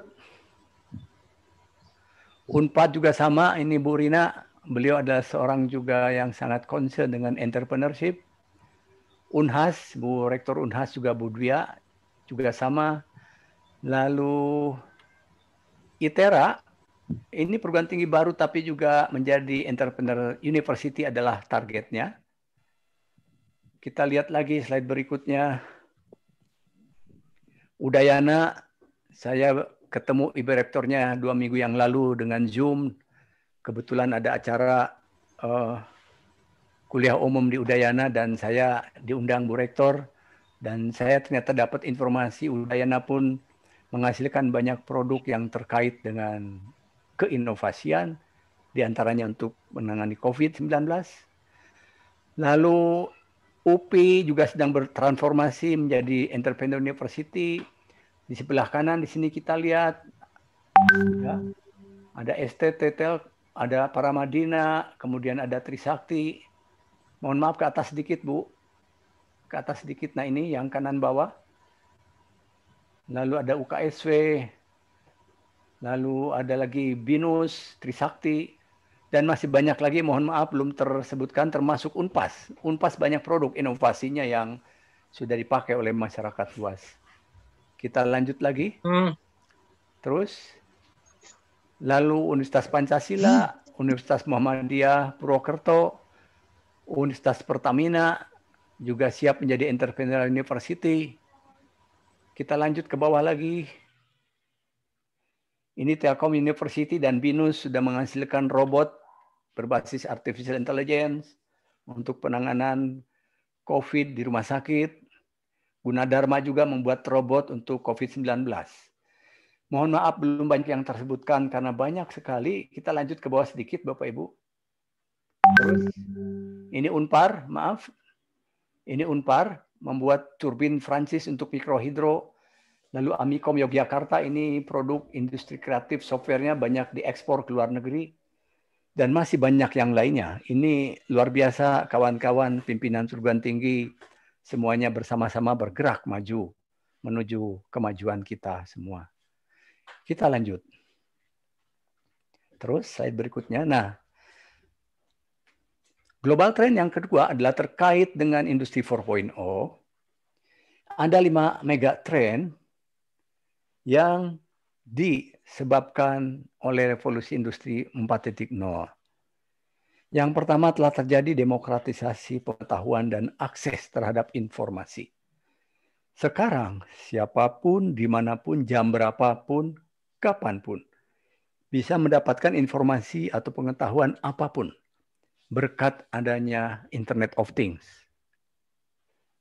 Lalu semakin luasnya akses pendidikan tinggi, partisipasi publik semakin meningkat, pengetahuan tercecer di mana-mana. Yang kedua, teknologi digital semakin dominan. Sekarang kita dengan Zoom juga karena digital. Kuliah pakai masif open online course. Lalu ada teknologi digital yang pakai branded learning, e-commerce, dan lain-lain. Nah, yang ketiga, Bapak Ibu sekalian, integrasi dengan industri, kita lihat sebelah kanan bawah. Boleh naik sedikit, Bu Yeni. Nah, ini. Jadi sekarang sudah bukan hal yang tidak bisa dipungkiri lagi. Perguruan tinggi harus dekat dengan industri. Tadi Pak Made sudah mengingatkan. Kenapa? Karena mahasiswa harus diperkenalkan lebih dini terhadap apa yang terjadi di dunia nyata. Bahkan di banyak negara maju, industri memberikan topik penelitian. Perguruan tinggi melakukan risetnya, hasilnya dibalikan kepada industri. Menjadi inovasi menjadi kemajuan industri karena dukungan perguruan tinggi. Sebelah kiri, sebelum COVID, mahasiswa internasional sangat banyak bergerak. Contohnya saya tahu persis UNPAS itu jumlah mahasiswa internasionalnya jauh lebih banyak daripada ITB. Karena banyak daya tarik yang ditawarkan oleh UNPAS untuk bidang-bidang yang menjadi minat anak-anak asing. UGM, UI, Erlangga, lalu Trisakti, banyak sekali mahasiswa internasional yang bergerak. Lalu yang terakhir, yang kelima, global trendnya adalah adanya kompetisi pasar dan pendanaan terhadap sistem pendidikan tinggi. Di banyak negara, tantangan pendanaan dari pemerintah itu semakin terbatas. Saya pernah dapat kunjungan dari seorang presiden university yang sangat terkenal dari Belanda. Beliau curhat bahwa dana dari pemerintah mulai turun. Lalu ada utusan majelis profesor dari Malaysia, pemerintah Malaysia. Berkunjung ke Bandung, lalu beliau mengatakan waktu itu ada krisis harga migas turun tahun 2013-14. Beliau mengatakan akibat harga minyak turun, subsidi ke perguruan tinggi negeri turun. Yang tadinya 90 persenan sekarang menjadi turun paling 70 persen katanya. Beliau menanyakan gimana PTN-PTN di ITB bisa survive dan PTS. Kita katakan kita sudah biasa struggle dari dulu, sehingga kita ya aman-aman saja. Ini Ibu Bapak sekalian, lima mega trend yang melanda perguruan tinggi. Ini saya dapatkan info ini ketika menghadiri pertemuan para rektor Asia Europe di Praha tahun 2016. Kita lanjut lagi. Nah, bagaimana pendapat dari McKinsey Global Institute? Kita lanjut. Akibat 4.0. Bawah dikit, silakan. Terus naik lagi. Naik lagi sedikit, Bu. Nah, ini yang dikasih lingkar merah. Itu akan terjadi munculnya lapangan kerja baru akibat adanya industri 4.0. Diantisipasi oleh McKinsey ada 19.000 lebih job baru dan ada 3.500-an job yang hilang. Sekarang sudah terjadi. Secara kasat mata, misalnya petugas e-tol sudah nggak ada yang ngurus tiket karena sudah digantikan oleh kartu elektronik tol. Bapak Ibu, sebentar lagi kita akan dihadapkan pada era otomasi Internet of Things yang menyebabkan berbagai perubahan Contoh nanti kalau mobil listrik sudah ada, entah tahun berapa Pak Made lebih tahu, maka para montir-montir di bengkel mobil harus mengupdate pengetahuan yang tadinya ngurus karburator bensin, nanti akan mengurus elektronik, chip, dan lain-lain.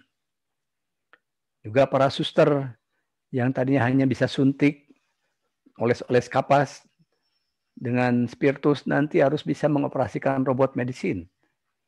Itu semua merupakan suatu kejadian yang akan muncul akibat revolusi industri keempat. Ke bawah dikit lagi, silahkan lanjut. Nah, Ibu dan Bapak sekalian, ada lima sektor besar.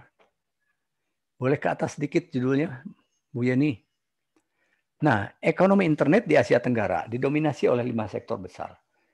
Online travel, yaitu untuk hotel, penerbangan, dan lain-lain. Online media, iklan, lalu jasa angkutan, ada Grab dan lain-lain, e-commerce, ada Tokopedia, Bukalapak, dan ada jasa keuangan digital atau financial service. Dari lima sektor itu, ada dua sektor yang sangat dominan, yaitu e-commerce dan angkutan. Di sebelah kanan kita lihat, ada 5 juta pesanan per hari e-commerce di tahun 2019 dan ini saya sempat komunikasi dengan Pak Hairul Tanjung sebulan lebih yang lalu. Dalam suatu forum beliau mengatakan sekarang banyak mall, supermarket yang mulai turun drastis bukan hanya karena COVID, tapi juga karena adanya Internet of Things dalam e-commerce. Dan ini dampaknya cukup banyak multiplier efeknya. Petugas di toko menjadi berkurang, lalu angkutan logistik juga berkurang yang tadinya ngangkut barang dari depot, depot ke toko, sekarang depotnya langsung dikirim ke konsumen. Kita lihat 5 juta pesanan per hari di ASEAN luar biasa. Dan ada uang 100 miliar dolar yang beredar tahun 2019 karena ekonomi internet yang lima sektor ini saja. Lanjut. Bagaimana akibat pandemi COVID-19? Ini juga ekonomi eh, dampak global terjadi di semua negara. Mari kita lihat, mohon dibantu slide berikutnya. Nah, Bapak Ibu sekalian, ada empat mega shift pergeseran perilaku konsumen karena COVID-19. Nomor satu sebelah kiri bawah. Adanya lifestyle stay at home. Semua orang sekarang lebih aman menjalankan aktivitas dari rumah, menyelesaikan solusi masalah dari rumah, seperti yang sedang kita lakukan hari ini akibat COVID. Yang kedua, bottom of pyramid daripada teori Maslow itu mulai dijalani. Yang tadinya orang itu sudah masuk ke level tingginya Maslow, beli barang-barang tersier, sekarang orang melupakan barang mewah. Semuanya mikir makanan dan kesehatan. Itu adalah piramid Maslow paling bawah. Ibu dan Bapak sekalian, kita lihat di sini contohnya adalah pada tanggal 19 Juli dan 22 Juli. Di Jakarta saya dua kali ketemu sahabatnya Pak Made. Beliau adalah mantan presiden direktur sebuah perusahaan otomotif. Saya jangan sebut mereknya nanti dikira promosi. Bapak mantan presiden curhat kepada saya. Seumur hidupnya perusahaan itu baru tahun ini rugi. Kenapa? Orang sekarang tidak tidak prefer beli mobil lagi. Mereka lebih banyak belanja untuk makanan, kesehatan. Kenapa? Yaitu sekarang juga transportasi juga mulai turun. Kenapa? Ini dampak daripada bottom of pyramid. Yang ketiga, go virtual. Inovasi digital menjadi keberhasilan untuk mendapatkan konsumen. Sekarang orang banyak UMKM masuk dari 62 juta UMKM saya dapat informasi sudah ada 7,2 juta lebih yang sudah masuk dalam e-commerce, sudah go virtual. Mereka tertolong untung ada digital. Lalu banyak sekali transaksi digital dilakukan. Kita lihat transaksi orang ke bank semakin kecil. Kenapa? Cukup dari rumah pakai phone banking. Dan yang keempat adalah empathic society. Masyarakat sekarang penuh empati. Penuh kekhawatiran dia ingin anaknya sehat, saudaranya sehat, kawannya sehat, karyawannya sehat, ingin semuanya sehat, maka empati sangat muncul bermunculan sekarang. Mohon dibantu slide berikutnya. Ini contoh lifestyle at home. Kita lihat contohnya Bapak Ibu sekalian, nomor 10. Itu orang sekarang banyak yang demam Zoom. Semuanya dilakukan dari rumah. Atau nomor dua, online shopping. Ini menjadi sesuatu yang kebutuhan, yang tadinya hanya keinginan. Kita lanjut. Slide berikutnya. Ya, naik lagi silakan. Ini bottom of the pyramid. Nomor 14, low trust society. Masyarakat semakin tidak percaya satu sama lain, khususnya untuk kesehatan. Sehingga kalau ketemu harus pakai masker, jaga jarak, tidak boleh salaman. Lalu kontak freestyle, tidak ada lagi salaman kayak zaman dulu. Kita lanjut slide berikutnya. Go virtual. Ibu bapak sekalian sekarang lahirnya generasi Zoom. Lalu adanya telemedicine. Orang ke dokter sekarang konsultasi lewat WA lewat video conference, lalu online homeschooling. Sebelumnya orang tua titip anak ke guru supaya belajar di sekolah. Sekarang terbalik, guru titip hmm. anak kepada orang tua untuk belajar di rumah. Kita lanjut. Bapak Ibu, ini nomor empat. Adanya peningkatan empati dan solidarity Orang lebih banyak menderita karena setiap hari selalu was-was, takut COVID-19, lebih banyak mendekatkan diri kepada Tuhan, more religius. Bahkan ada budaya mirip di Afrika. Di Afrika itu kalau ada yang meninggal, itu dikuburkannya secara diam-diam jam 2 malam. Nah sekarang juga korban daripada COVID-19 juga sama, dikebumikan dengan yang sangat terbatas, itu mirip ritual di Afrika. Kita lanjut. Ibu Bapak, akibat COVID-19 oleh McKinsey diramalkan, hanya ada beberapa sektor saja yang tumbuh. Di antaranya sebelah kiri yang warna hijau, itu pangan, makanan ya, lalu kebutuhan anak dan kebutuhan rumah tangga. Sedangkan penerbangan domestik kita lihat belah kanan paling bawah warna merah, itu yang paling terpukul. Diperkirakan minus 82 persen. Rugi besar. Lalu kosmetik juga sekarang akan terganggu karena ibu-ibu eh, maskernya menutupi lipstick. Lalu bapak-bapak juga sekarang tidak bepergian ke mana-mana, nggak usah pakai minyak rambut karena nggak ada angin dalam rumah. Ya, lalu entertainment dalam rumah meningkat. Sekarang itu yang warna hijau di kanan atas. Yang lainnya, ibu bapak sekalian, itu lebih banyak warna hitam daripada warna biru. Artinya apa? Lebih banyak rugi daripada untungnya. Kita lanjut. Ini akibatnya adalah dalam dunia kesehatan akibat COVID-19. Berkembanglah robot dan artificial intelligence dalam dunia kesehatan. Ini gambar ini kita lihat bagaimana robot membantu para dokter.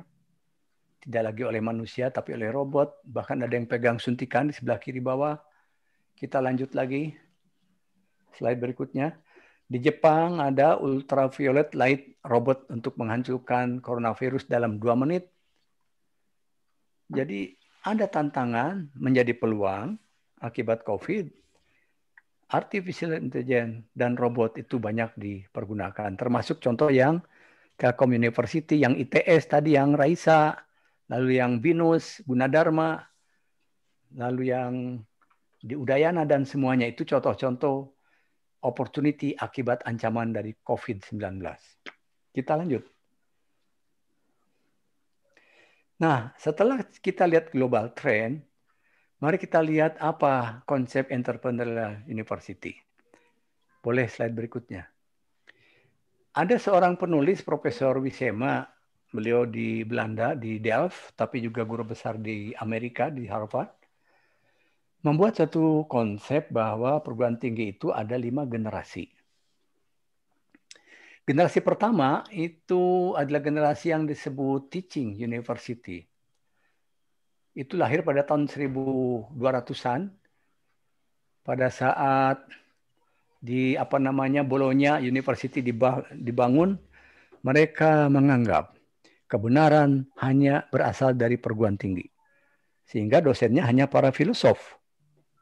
Tapi dekat-dekat tahun 1800 kita lihat kotak di kanan generasi kedua itu Research University ada seorang yang namanya William von Humboldt Humboldt, orang Jerman, mengatakan bahwa kebenaran di kampus bisa dikoreksi oleh fenomena alam. Sehingga perlu explore alam, muncullah riset, maka muncul riset university. Lalu di sebelah bawah kanan, nah ini ada generasi ketiga yang disebut dengan entrepreneurial university. Adalah perguruan tinggi yang excellent dalam teaching and learning, excellent dalam riset, tapi juga dia melakukan inovasi-inovasi yang memberikan manfaat komersial, ekonomi, dan sosial untuk masyarakat luas. Maka lahirlah Entrepreneurial University. Itu salah satu pelopornya adalah Cambridge University. Lalu generasi keempat sebelah kiri, itu ada universitas yang melakukan riset, melakukan entrepreneurship, tapi juga dia melakukan riset untuk yang cutting edge, riset-riset yang tingkat tinggi. Itu banyak melakukan di negara Eropa, Amerika, beberapa Asia seperti China dan Jepang dan Korea. Yang kelima adalah generasi keempat yang melakukan cutting edge, tapi hasil risetnya juga bisa dikomersialkan. Itu contohnya MIT dan kawan-kawan. Kita lihat slide berikutnya. Ini gambaran historisnya tahun 1088 Bologna University lahir lalu di sini muncul generasi pertama Teaching University. Humboldt tahun 1800 terjadilah Research University dan yang di bawah Cambridge terjadilah Entrepreneurial University atau generasi ketiga. Jadi ada syarat untuk menjadi Entrepreneurial University. Pertama, excellent dalam teaching and learning-nya harus dipertahankan, harus excellent, jangan ditinggalkan. Kedua, risetnya juga harus bagus, baru boleh melakukan komersialisasi daripada kegiatan-kegiatan kampus itu. Termasuk membantu masyarakat luas untuk meningkatkan kehidupan ekonomi dan sosialnya. Sehingga muncullah excellent in teaching and learning, excellent in research, dan excellent in innovation and entrepreneurship. Kita lanjut. Jadi ada sejumlah alasan lahirnya generasi ketiga Entrepreneur University. Ini yang dikasih warna kuning, Bapak Ibu sekalian, bahwa sekarang di berbagai negara, pemerintah juga meminta universitas untuk ikut bermain di dalam meningkatkan ekonomi negara. Lalu kita lihat yang kuning di bawah adanya riset interdisciplinary. Lalu di kanan kuning lagi, universitas menjadi pemicu lahirnya ekonomi yang berbasis teknologi. Tadi Pak Made mengatakan harus berbasis inovasi supaya maju. Saya dapat data kenapa Korea dan Jepang itu industrinya jauh lebih maju daripada Singapura, padahal risetnya sama-sama tinggi. Ternyata karena Korea dan Jepang, patennya, inovasinya jauh lebih banyak daripada riset. Sedangkan Singapura patennya lebih sedikit daripada publikasi. Jadi kita juga perbanyak sehingga ekonomi berbasis teknologi. Kita lanjut.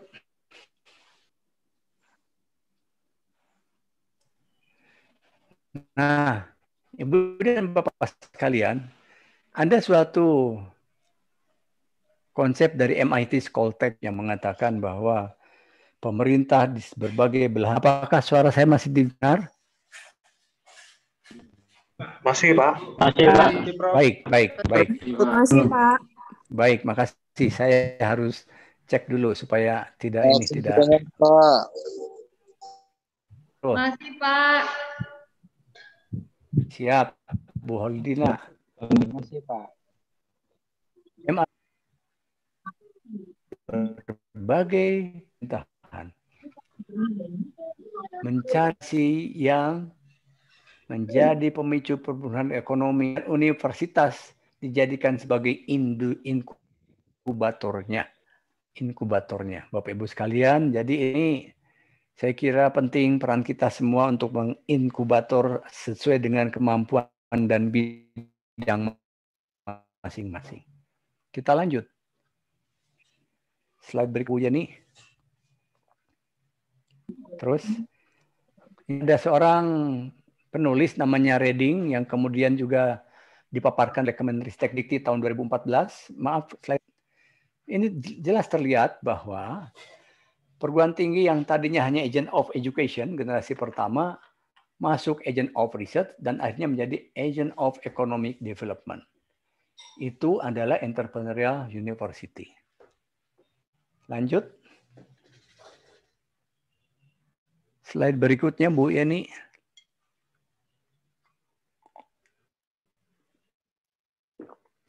Nah, apa Siti? Etzkowitz dan kawan itu memiliki kemampuan berinovasi, lalu mengambil risiko, menjawab tantangan, menjadi inkubator natur alam, menjadi inisiatif terjadinya kerjasama antara siapa?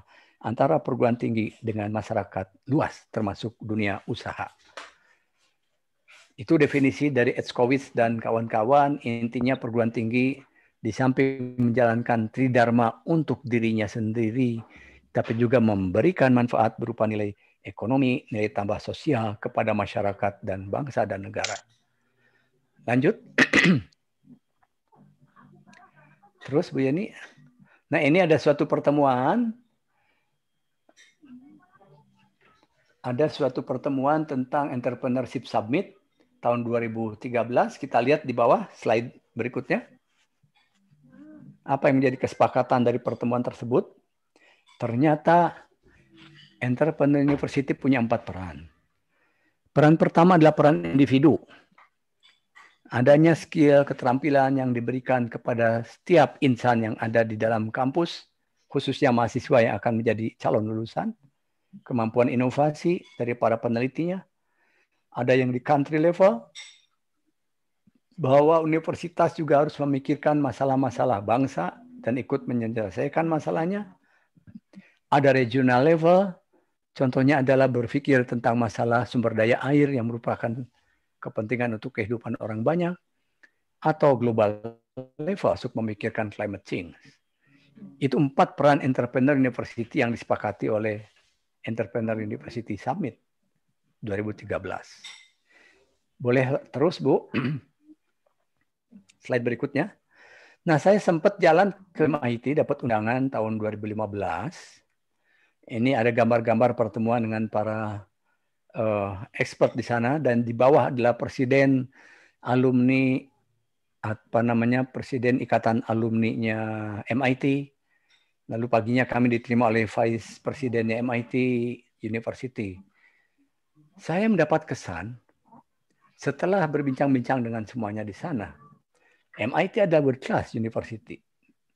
Dan kesan saya ada world class research university adalah kalau dia melakukan penelitian yang berhasil menyelesaikan baik masalah global atau masalah lokal atau nasional, tapi hasilnya menjadi rujukan dunia, menjadi citation index contohnya, atau orang ikut menerapkannya.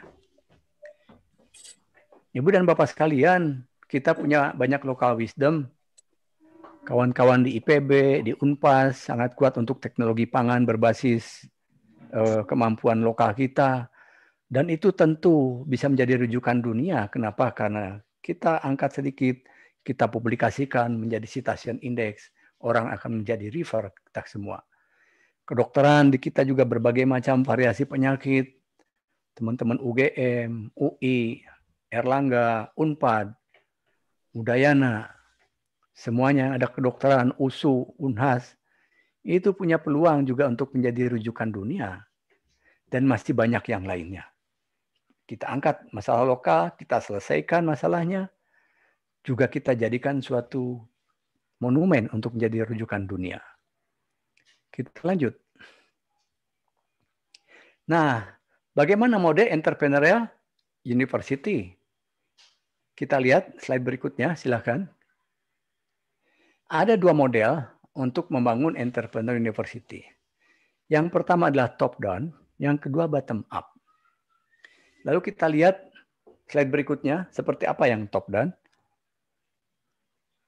Bottom up dulu maaf. Yang bottom up itu biasanya diinisiasi oleh mahasiswa atau alumni atau entrepreneur di masyarakat luas. Dan biasanya menjawab permasalahan yang ada di masyarakat baik ekonomi maupun sosial. Lalu juga diupayakan untuk menggerakkan orang-orang supaya menciptakan lapangan kerja baru, kemudian juga didrive oleh grassroots, oleh mahasiswa dan alumni biasanya, punya kemitraan yang kuat, lalu adanya komunitas entrepreneur dalam university, Lalu ada investasi yang juga berasal dari masyarakat luas, tetapi ada kelemahannya bottom up ini, yaitu universitas akan kesulitan mencari dasar legalnya bahwa itu adalah programnya universitas, sekalipun mahasiswanya ikut. Kenapa? Karena inisiasinya bukan dari universitas. Maka muncul mode yang kedua, top down, kita lanjut. Slide berikutnya. Kalau top down, universitas sendiri membangun suatu struktur, suatu inisiatif, suatu program. Lalu juga ini menjadi pemicu income tambahan university, baik dari riset maupun pengabdian masyarakat atau inovasi. Dan yang menarik, kita lihat poin yang keempat. Ini ada bahayanya juga. Kenapa bahayanya? Biasanya hanya paten-paten yang berasal dari universitas tersebutlah yang dilindungi oleh unit yang namanya teknologi transfer office atau kantor paten. Kalau hanya top down.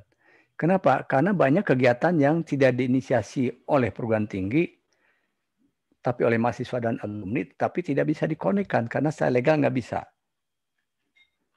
Akibatnya apa? Mahasiswa, alumni, dan masyarakat akan termarginalkan. Nah, oleh karena itu, model ini harus dimix, jadi top down bottom up, supaya kelemahan tadi bisa teratasi. Supaya apa yang dilakukan mahasiswa, alumni, dan lain-lain juga bisa dilindungi patennya. Maka muncul kemitraan yang kuat antara perguruan tinggi dengan masyarakat luas. Kita lanjut. Ini benchmark Bapak Ibu. Entrepreneur University yang sudah sangat maju, ada MIT. Mereka sangat kuat dalam konsorsium antara perguruan tinggi dengan industri. Jadi waktu saya berkunjung ke sana, Oktober 2015, saya berkunjung ke sebuah laboratorium. Mereka melakukan riset, tapi risetnya itu berdasarkan topik-topik pesanan dari industri. Setelah jadi dikirim ke industri,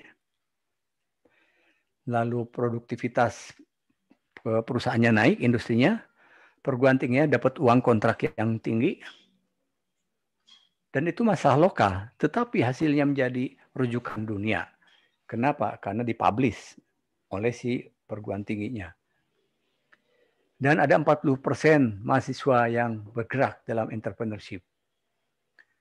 Oxford, mereka punya yang namanya Oxford University Innovation dan punya riset patent startup enterprise support yang satu adalah lebih kepada seperti di Indonesia ada pusat unggulan iptek, yang satunya adalah untuk inkubator. Di bawah China, mereka punya kemitraan yang kuat, dukungan pemerintah dan juga national company. Tokyo juga sama, dukungan pemerintah dan industri. Kita lihat di sini perbedaan Amerika dan Asia atau Eropa. MIT dan Oxford. Dua-duanya punya kemitraan yang kuat perguruan tinggi hanya dengan industri. Tapi Tsinghua dan Tokyo Institute Technology, di samping dengan industri, ada strong support daripada pemerintah. Jadi ini karakter Asia, saya kira termasuk Indonesia, dukungan pemerintah juga cukup kuat. Kita lihat Pak Bambang Brojo, Pak Menristek, begitu gencarnya menguatkan budaya inovasi dengan semua programnya, itu adalah model yang ada di Amerika, Eropa, dan di Asia, khususnya Tokyo dan Tsinghua University. Kita lanjut. Nah ini Oxford, dia punya dua kekuatan yang menjadi engine entrepreneurial university-nya. Yang pertama adalah Oxford University Innovation. Yang kedua Oxford Science Innovation. Yang bawah itu mirip Science Technology Park di tempat kita. Kalau yang atas lebih kepada lembaga-lembaga yang memfasilitasi paten dan lain-lain. Nah, tetangga kita Malaysia, mari kita lihat Bapak Ibu sekalian. Slide berikutnya. Malaysia sejak tahun uh, berapa ini? 2013 dikurangi 21 karena ini kejadian tahun 2013. Tahun 90-an. Yang namanya Malaysia Technology Development Center atau MTDC punya program untuk mulai menumbuhkan inovasi budaya entrepreneurship sejak anak-anak itu di sekolah SMP, SMA, ya, tentu perguruan tinggi, Lalu apa yang terjadi Bapak Ibu sekalian? Universitas di sebelah kanan ada enam universitas yang diberikan mandat untuk menyelenggarakan kegiatan entrepreneurship dan teknologi startup. Lalu di bawahnya juga sama, ada program lima universitas dengan satu eh, partner tentu. Apa yang terjadi? Sekarang Malaysia juga sudah bertumbuh subur entrepreneurship dan startupnya. Kita lanjut. Nah, Bapak Ibu sekalian, bagaimana membangun ekosistem entrepreneurial university? Karena tanpa ekosistem nggak mungkin jalan. Siapa ekosistemnya? Yaitu semua stakeholder yang mendukung dihasilkannya produk-produk inovasi menjadi produk yang bisa dijadikan sebagai produk komersial. Mari kita lihat, ini ada penelitian hasil survei di Amerika. Lanjut slide berikutnya. Survei ini dilakukan kepada delapan universitas terkemuka, Harvard, MIT, Stanford, sampai kepada Utah. Ada 47 spin-off company yang disurvei dan 130 orang yang diinterview. Mereka adalah para pimpinan di Entrepreneur University di delapan universitas tadi. Kita lihat hasilnya, slide berikutnya. Nah, ini Bapak Ibu sekalian. Dalam penelitian ini, dibikin framework kerangka ada enam tahap dalam menjalankan transfer teknologi hasil inovasi menjadi produk komersial dari mulai idea generation sampai fundraising. Kita lihat di bawah saja langsung seperti apa bentuknya. Terus, ternyata Ibu dan Bapak sekalian, untuk teknologi transfer menjadi komersial produk, di awal peranan dosen atau peneliti kampus, ya itu yang warna biru itu cukup tinggi. Tapi yang warna abu-abu, peranan para entrepreneur itu rendah. Jung kebalik.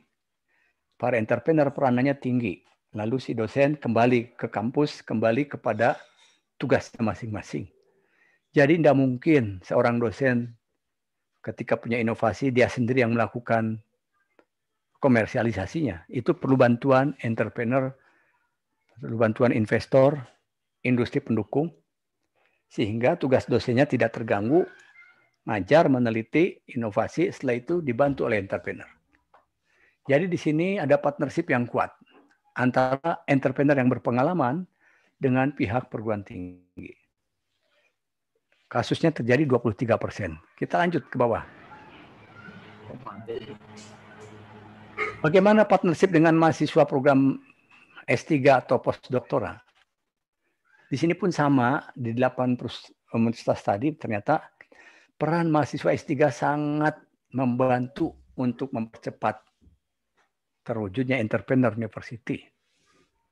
Kita lihat di awal ide-ide itu datangnya dari dosen, tapi setelah itu peneliti S3 atau postdoktora yang menjalankan dan peran mereka makin tinggi, dosennya hanya mengawal pembimbingnya. Dan ini para mahasiswa doktornya juga bisa menjadi startup karena setelah itu bisa jadi dosen atau jadi pengusaha. Kita lanjut lagi yang ketiga. Nah, di sini Bapak Ibu sekalian, perannya bidang-bidang bisnis manajemen ekonomi. Maka berbahagialah perguruan tinggi yang punya bidang-bidang ekonomi, bisnis. Kenapa? Karena di sini kita lihat di samping peranan dosen yang warna biru, mahasiswa S3 yang hijau, tetapi peranan kawan-kawannya yang dari bisnis atau ekonomi itu sangat kuat. Dan warna kuning di ujung semakin meningkat karena mereka yang tahu cara membuat bisnis plan, cara pemasaran, negosiasi, dan lain-lain. Jadi ini lintas disiplin akan mendukung terjadinya entrepreneurial university yang baik. Lanjut. Lalu kita lihat teknologi transfer office atau disebut licensing office ini adalah jembatan antar perguruan tinggi dengan dunia industri. Kita lanjut. Terus di MIT ada namanya TLO, Technology Licensing Office. Dia punya misi memberikan manfaat sebesar-besarnya kepada masyarakat luas tentang penggunaan lisensi teknologi. Lanjut lagi terus. Ini di Stanford juga sama, namanya Office of Technology Licensing. Juga sama memberikan manfaat. Nah yang menarik di sini, do more, not less. Jadi dia lebih banyak melakukan protecting terhadap hasil riset, melakukan kolaborasi internasional, pendidikan entrepreneurship, lalu adanya inkubator untuk startup dan akselerasi. Contohnya di Virginia. Lanjut. Dan harus dimaksimumkan adalah pertama government fund research. Kenapa? Karena perguruan tinggi nggak punya uang banyak. Saya sempat hadir di 2017 bulan Januari di Bangkok. Ada pertemuan tentang teknologi dan inovasi. Ada peserta dari Korea, dari Taiwan, Jepang, dan banyak negara yang lain. Ternyata di Korea, saya dapat informasi. Untuk R&D sebuah perguruan tinggi, itu bekerja sama dengan industri dan pemerintah Dana yang disiapkan dari industri adalah 65 persen, pemerintah 32 persenan, perguruan tinggi sekitar 3 persen. Jadi Bapak Ibu sekalian, ini karakteristik Asia. Tadi lihat Jepang, ya kita lihat Tsinghua di China, Korea pun sama.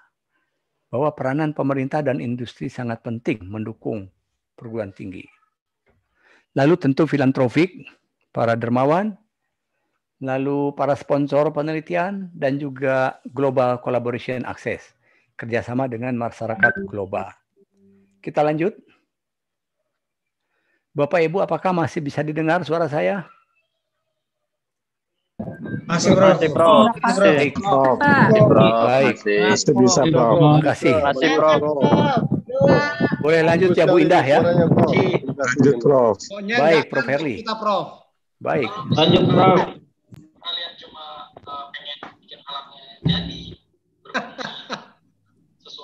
Nah, Bapak Ibu sekalian,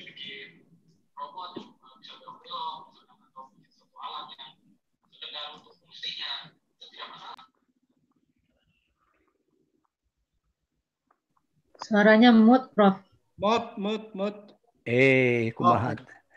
Ya, ya ter termute oleh host itu rupanya. Gangguan-gangguan tadi, Prof. Baik. Sekarang aman, oke. Aman ya? Aman-aman, Pak. Baik. Ini ada Butina juga nih. Siap selalu, mendukung penuh. Baik. Kita lihat Bapak Ibu Google setiap hari kita pakai setiap ja- ja- jangan gerak dulu. berapa? S berapa? Stop di sini, stop. Nah, ini basic. WBD mah. Bapak Ibu, Mama mama tuh S berapa? ST. itu ternyata Google itu produk dari Stanford. Kemudian menjadi startup dan membesar dengan waktu itu tahun 2013 saja sudah menjadi 365 juta US dollar. Itu kenapa? Karena dia memberikan manfaat pada orang banyak, connecting people. Jadi kalau kita ingin punya manfaat orang banyak, ingin punya, punya uang banyak, ya bikinlah manfaat sebesar-besarnya ke banyak orang. Contohnya Google, itu dari Stanford. Tujuh tahun yang lalu, sekarang sudah terbayang jadi berapa. Kita lanjut. Lalu kenapa kita belum bisa langsung menjadi MIT atau seperti Stanford?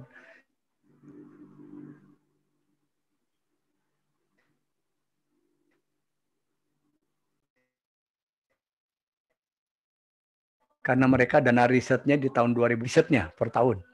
MIT 681 juta dolar. Halo? Siap. Kedengaran, Prof. Prof. Kedengaran, Prof. Masih oke. Prof. Baik. Masih ada manusia, Prof. Menyimak terus. Lalu M Nyimak, Prof. Masih kedengeran. Lanjut. MIT Stanford ada 1000 invention per tahun. Harap seperti MIT Stanford, tapi kita harus maju terus dengan apa adanya, dengan kemampuan yang ada. Mereka udah ratusan tahun umurnya. Kita lanjut. Lanjut terus. Nah, bagaimana economic impact entrepreneur university diukur? Kita lihat. Slide berikutnya, Bu Yani. Nah, ini ada suatu temuan data. Wow, kok jadi warta kota? Silakan. Silakan. Wow. Ini ada Butina nih, jadi balik lagi ke atas Butina. Aduh, Pak Kadarsa ditunggu-tungguin dari tadi itu tuh. Menyimak terus, Prof. Siap, siap Butina. Kita tunggu slide berikutnya. Ini kelihatannya hostnya rada guru slide-nya. Terus, terus.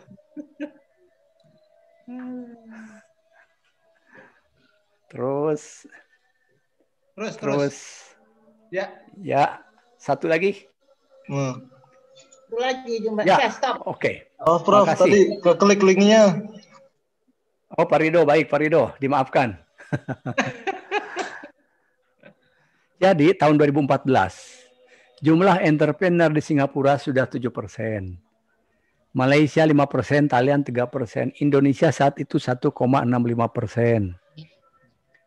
2018, ini Pak Mesdin lebih tahu di Bapenas urusannya. Ya. Kita baru 3 persenan, sedangkan Malaysia, Singapura, Thailand di atas 4 persen. 2018, Indonesia peringkat ke-94 di bawah tetangga kita. Dan 2019 saya dapat kabar dari sahabat kita Pak Arif Rahman, Deputi Menteri Koperasi, Ya. tiga minggu yang lalu beliau sharing ternyata di Indonesia baru 3,1. pad- 3,1 ya Pak ya. Artinya apa? Sebetulnya suatu negara akan akan semakin maju kalau jumlah entrepreneurnya makin banyak. Kita lanjut Bapak Ibu. Slide berikutnya. Nah itu yang merah tadi. Tulisan merah. Ini dia. Semakin banyak entrepreneur, semakin maju suatu bangsa. Oleh karena itu Bapak Ibu, kalau kita dari perguruan tinggi ingin memajukan bangsa, perbanyaklah jumlah entrepreneur yang kita luluskan. Nah, contoh bagaimana impact diukur di MIT, kita lihat. Terus, terus Bapak Ibu, Pak Rido. Nah, ini. Ternyata alumni MIT itu dilacak oleh MIT-nya. Omset hasil para entrepreneur lulusan MIT itu pada tahun 2013 nilainya antara ranking ke-9 dan ke-10 GDP dunia. Jadi antara GDP-nya India dan Rusia. Hampir 2 triliun dolar uang yang dihasilkan oleh para alumni MIT yang menjadi entrepreneur. Ya, lalu employment-nya juga itu kita lihat dari mulai 1 sampai 10 sampai di atas 10 ribu. Ada 21 ribu sekian rata-ratanya. Lalu revenue rata-rata 2,7 triliun dolar. Lanjut. Itu kontribusi entrepreneur untuk bangsa. Kemudian kita lihat ada yang di garis merah sini, kurung merah. Alumni yang tadinya baru jadi entrepreneur umur 39, di tahun 2000-an itu sudah umur 27 jadi entrepreneur. Jadi tiga tahun setelah lulus mereka langsung jadi entrepreneur. Kita lihat grafik berikutnya. nah ini dia. Boleh ke bawah sedikit. Nah, Bapak Ibu sekalian, tiap dekade diukur jumlah entrepreneur dan jumlah perusahaan yang dibangun. Di tahun 2000-an itu sudah 12.000 perusahaan yang dihasilkan oleh para alumni MIT. Lalu 2010 sampai sekarang sedang dihitung, sedang berjalan, belum ada angkanya. Lanjut. Ini ternyata anak-anak yang baru lulus tiga tahun yang warna kuning itu tahun 2010-an itu mulai banyak yang menjadi entrepreneur, sudah 12 persen. Lalu yang 10 tahun selalu lulus juga banyak, termasuk yang lima tahun selalu lulus. Yang menarik adalah yang kuning, semakin meningkat eksponensial. Terus lanjut, Pak Rido. Nah, saya ingin sharing pengalaman kecil bagaimana ITB Rani menuju Entrepreneurial University. Coba kita lihat uh, slide berikutnya. Ini judulnya dari Research University menuju Entrepreneurial Suaranya University. storing, Pak. Halo, Suaranya hilang-hilang ya. hilang-hilang. Sebentar. Ya. Serak, Prof. Halo. Apakah jelas sekarang? Tidak jelas, Prof. Suaranya kayak robot jadinya, Prof. Kayak robot. Ini bandwidthnya. Matikan videonya. Tidak terdampak sama AI kelihatannya Pak Prof nih. Saya mati, matikan videonya. Ini ada Kolonel, Kolonel Arwin Sumari juga nih. Selamat. Halo, Prof. Selamat sore Prof. Sekarang nih internet drop di mana-mana nih. Apakah sudah jelas suaranya sekarang? Belum. Masih Prof. Masih seperti Belum masih uh, storingnya. Sebentar, sebentar. Noise. Suaranya serak, Prof. Sepertinya kita diminta so break salat asar dulu mungkin ya. Mau break dulu, silakan break dulu ya. Sepertinya suaranya pada hilang. Uh, break Makan 15 break dulu menit saja. Iya. dulu supaya jelas lagi karena ini ceritanya agak Ya. spesifik. Siap, siap. Iya. Betul, ceritanya Bu Yani, siap. Break. Sampai jumpa lagi. Pak Ibu, Ya, kita break betul. saja dulu selama 15 menit cukup ya? Atau kita mulai lagi jam setengah empat gitu? Ya cukup. 10 menit. Jam 15, 15.30 ya, kita break dulu. Untuk Oke. Kita sholat asar dulu. Baik, Mudah-mudahan kita untuk selanjutnya diberikan kemudahan dan kelancaran. Amin. Amin. Dengar kembali dari uh, Profesor Kadarsa. Terima kasih Bapak Ibu, selamat menjalankan ibadah sholat asar. Amin.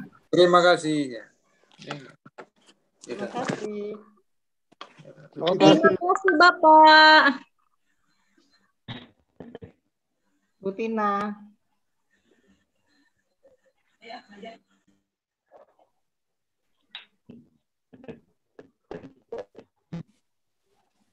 Waalaikumsalam. Bunda Susi, Waalaikumsalam. Bunda Susi kangen. Eh, ini sama Bu Yeni ya? Aku lihat dulu. Nah, apa kabar Bunda? Ini sama ini. Jadi Bu. Ya, Bu Yeni. Yeni. Alhamdulillah sehat selalu ya Bu. Sehat juga. Ya Bu. Alhamdulillah. Alhamdulillah, alhamdulillah sehat Bu. Iya. Kalau di Surabaya Bu Yeni top. udah udah lewat, Apa itu? sudah sudah lewat lebih satu jam ya. Kalau di mana? Belum. Untuk di Solo, di Solo masih Oh belum ya? Oh di Solo, ya ya ya Oh, di belum, Solo. sebentar lagi. Kabar Ibu Iya, Susi. iya. Eh, Halo. Bunda apa kabar? sehat ya? Eh, iyalah. Ayo main yuk. Dumai Gimana belum belajar Bunda. Kabarnya Dumai gimana? Uh, Sik agak lelet Bun. Ibu saya izin salat asar dulu ya Bu. Monggo, monggo. Monggo Bu Yani, monggo Bu Yani. Saya sebentar lagi. Oh, Bu Yani udah udah asar gitu? Saya, saya tak lihat. Udah Bu. Belum Pak Made. Oh iya, udah. Ya. Banyak. Iya, ya, udah harusnya. Pak dengar Made? Pak Made, apa kabar? Assalamualaikum. Ya, salam. Salam. Baik Bu. Baik Pak, Assalamualaikum. Nanti Iya, itu Bu yang riset baterai gimana risetnya tuh? Riset baterai. Kita kerjasama kan dengan IOI. Di Solo gitu? Ya, ya, ri- riset baterai. sama siapa? Baterai, baterai Oh, listrik. baterai, baterai. Itu kerjasama kan dengan Iya, ya. Nah, nah, itu masih jalan terus. Jalan terus masih. Kan itunya juga produksinya juga sudah ada. Dengan Pak Made. Pak Nijam ya? Enggak, enggak, enggak jelas suaranya Pak Made. Oh ya, dengan Profesor Nijam ya Bu? Pak Nijam, itu. Iya, iya, Pak, Pak, anu, Pak Agus Pur, sekarang Profesor, Profesor Agus Pur yang berapa waktu yang lalu saya kenalkan di mana? Di di Industrian kalau nggak salah Oh, di pihak ketemu Indonesia sama ya. Pak Made waktu itu. Ya, yang yang peneliti utamanya tokohnya tuh itu Prof eh, Agus Purwanto. Baru aja Prof dia. Oh ya, ya. Kalau bisa ini eh, apa kerjasamain dengan IOI Bu diusulin Oh iya iya iya. Ya nanti saya supaya lebih sampaikan. luas Nanti saya Ya. sampaikan IOI ya. ya supaya lebih Ya, luas ya. Kita kan punya partner eh, Jepang, eh, eh, juga China dan juga Korea. Nanti bisa kita eh, Oh lihat. Nasibnya kan lebih volumenya lebih besar skala produksi kan bagus ya Bu. Boleh, boleh, oke, oke, oke. Ini Ya. mumpung ketemu di sini. Nanti saya sampaikan Pak Made. Ya, Bu. Sehat ya Pak Made? Ya, alhamdulillah baik Bu. Baru kemarin siapa ketua itu Ketua BKSCI. Pak Anu Bu Berta, Bu Berta. Bu Oh, Berta, Buber. Oh, UGM. UGM. Ya. Oh. Ya, ya. Selamat itu, Bu Berta. Waktu itu sekretaris ya, Bu Berta ya? Senang sekali lihat Pak Made sehat. Ya. Ya, Bu. Ya. Ini pada istirahat. Lagi pada ini ya, sholat. Ya, saya- izin sholat dulu ya. Saya izin sholat Bu. dulu. Enggak, Bu Miliana. Ya, terima kasih. Ya. Ibu sholat juga. Mbak Irma. Pak Mesdin Iya, ada Pak. ya? Tadi Pak Mesdin ada ya? Pak Mesdin belum lihat sih Pak. Oh, Kamu ada Pak Mustafa. Mustafa hadir. Harusnya ada, udah siang, udah siang sih udah nggak. Kalau pagi kan ngajar, harusnya ada sih. Biasanya rajin. Pak Mustafa ada juga. Hai, itu Pak Mesdin. Nah Dari itu? Pak Mesdin suaranya. Sorry, dari London ya. Ya belum lihat, baru kelihatan Pak Mesdin. Enggak dari tanggal- tadi saya udah Pak Mesdin tanggal baru 18, tanggal gimana 18 Pak balik. Tanggal 18 balik. Nanti kita bikin itu, meeting itu. Siap. Eh, ini tadi yang eh, ide apa komersialisasi itu kan kelihatannya perlu dibantu nih. Ya, banyak peneliti-peneliti doktor di sini kan. Oke. dibantu. Khususnya untuk kendaraan listrik apa untuk proyek-proyek eh, otomotif lah gitu ya. Ya, Kita punya, ya. udah udah punya channel dengan industri juga, dengan investor. Jadi kalau ada ya bangkit ini perguruan tingginya gitu Pak. Ya. Jadi semangat industrinya jalan. Betul, Pak. Ya. Tadi saya udah masukin di chat itu kalau ada yang ngontak Pak Mesdun itu. Yoi. Ampun.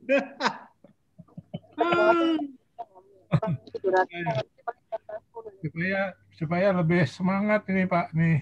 Ya. Ya, betul, Pak. Ya, harus harus ada yang terwujud lah nih. Bagus tadi tuh sekolah itu, sekolah apa entrepreneur university. Kita kurang ya, kurang kekurangan ini kan, kekurangan Masih masih jauh lah. Kita kita lag di inovasinya. mungkin jiwanya juga perlu diajarin nggak ya jiwa entrepreneurnya semangat jiwa entrepreneur Ya, kalau saya melihatnya mungkin saya mungkin karena bias dengan ilmu yang saya ini, Pak ya. Ya. Ide produknya itu dari dari maksudnya masih kurang. oh Jadi mata kuliah product development itu harus kuat kita, harus kuat. Banyak itu Ya. jembatan rangka baja. ya ya Itu. Jadi makanya Ya. saya di Politeknik kan ngajar pasti jembatan kan itu, ada sebelum delapan jam setengah itu. Jembatan rangka tuh. Diperkuat ya enggak lemah, Pak. Alhamdulillah mah kamu ini orangnya anda. tahun 2009 2010 Atau itu. sebagai direktur. Kapan kembali Pak Made? rangka baja teman-teman. 18 18 Ilmu Nah, di situ nanti kita bicarakan aja dalam, Pak. ya ya itu kayaknya perlu Ya perlu pokoknya. ada urusan khusus ini. Ya perlu ada semangat khusus ya. Ya. Malah nggak gitu kan. penas penas penasnya udah dibawa Meristek kayaknya Meristek ya. Pemrot. ini banyak para ini kan yang hadir ini banyak para eh, proses usaha ya.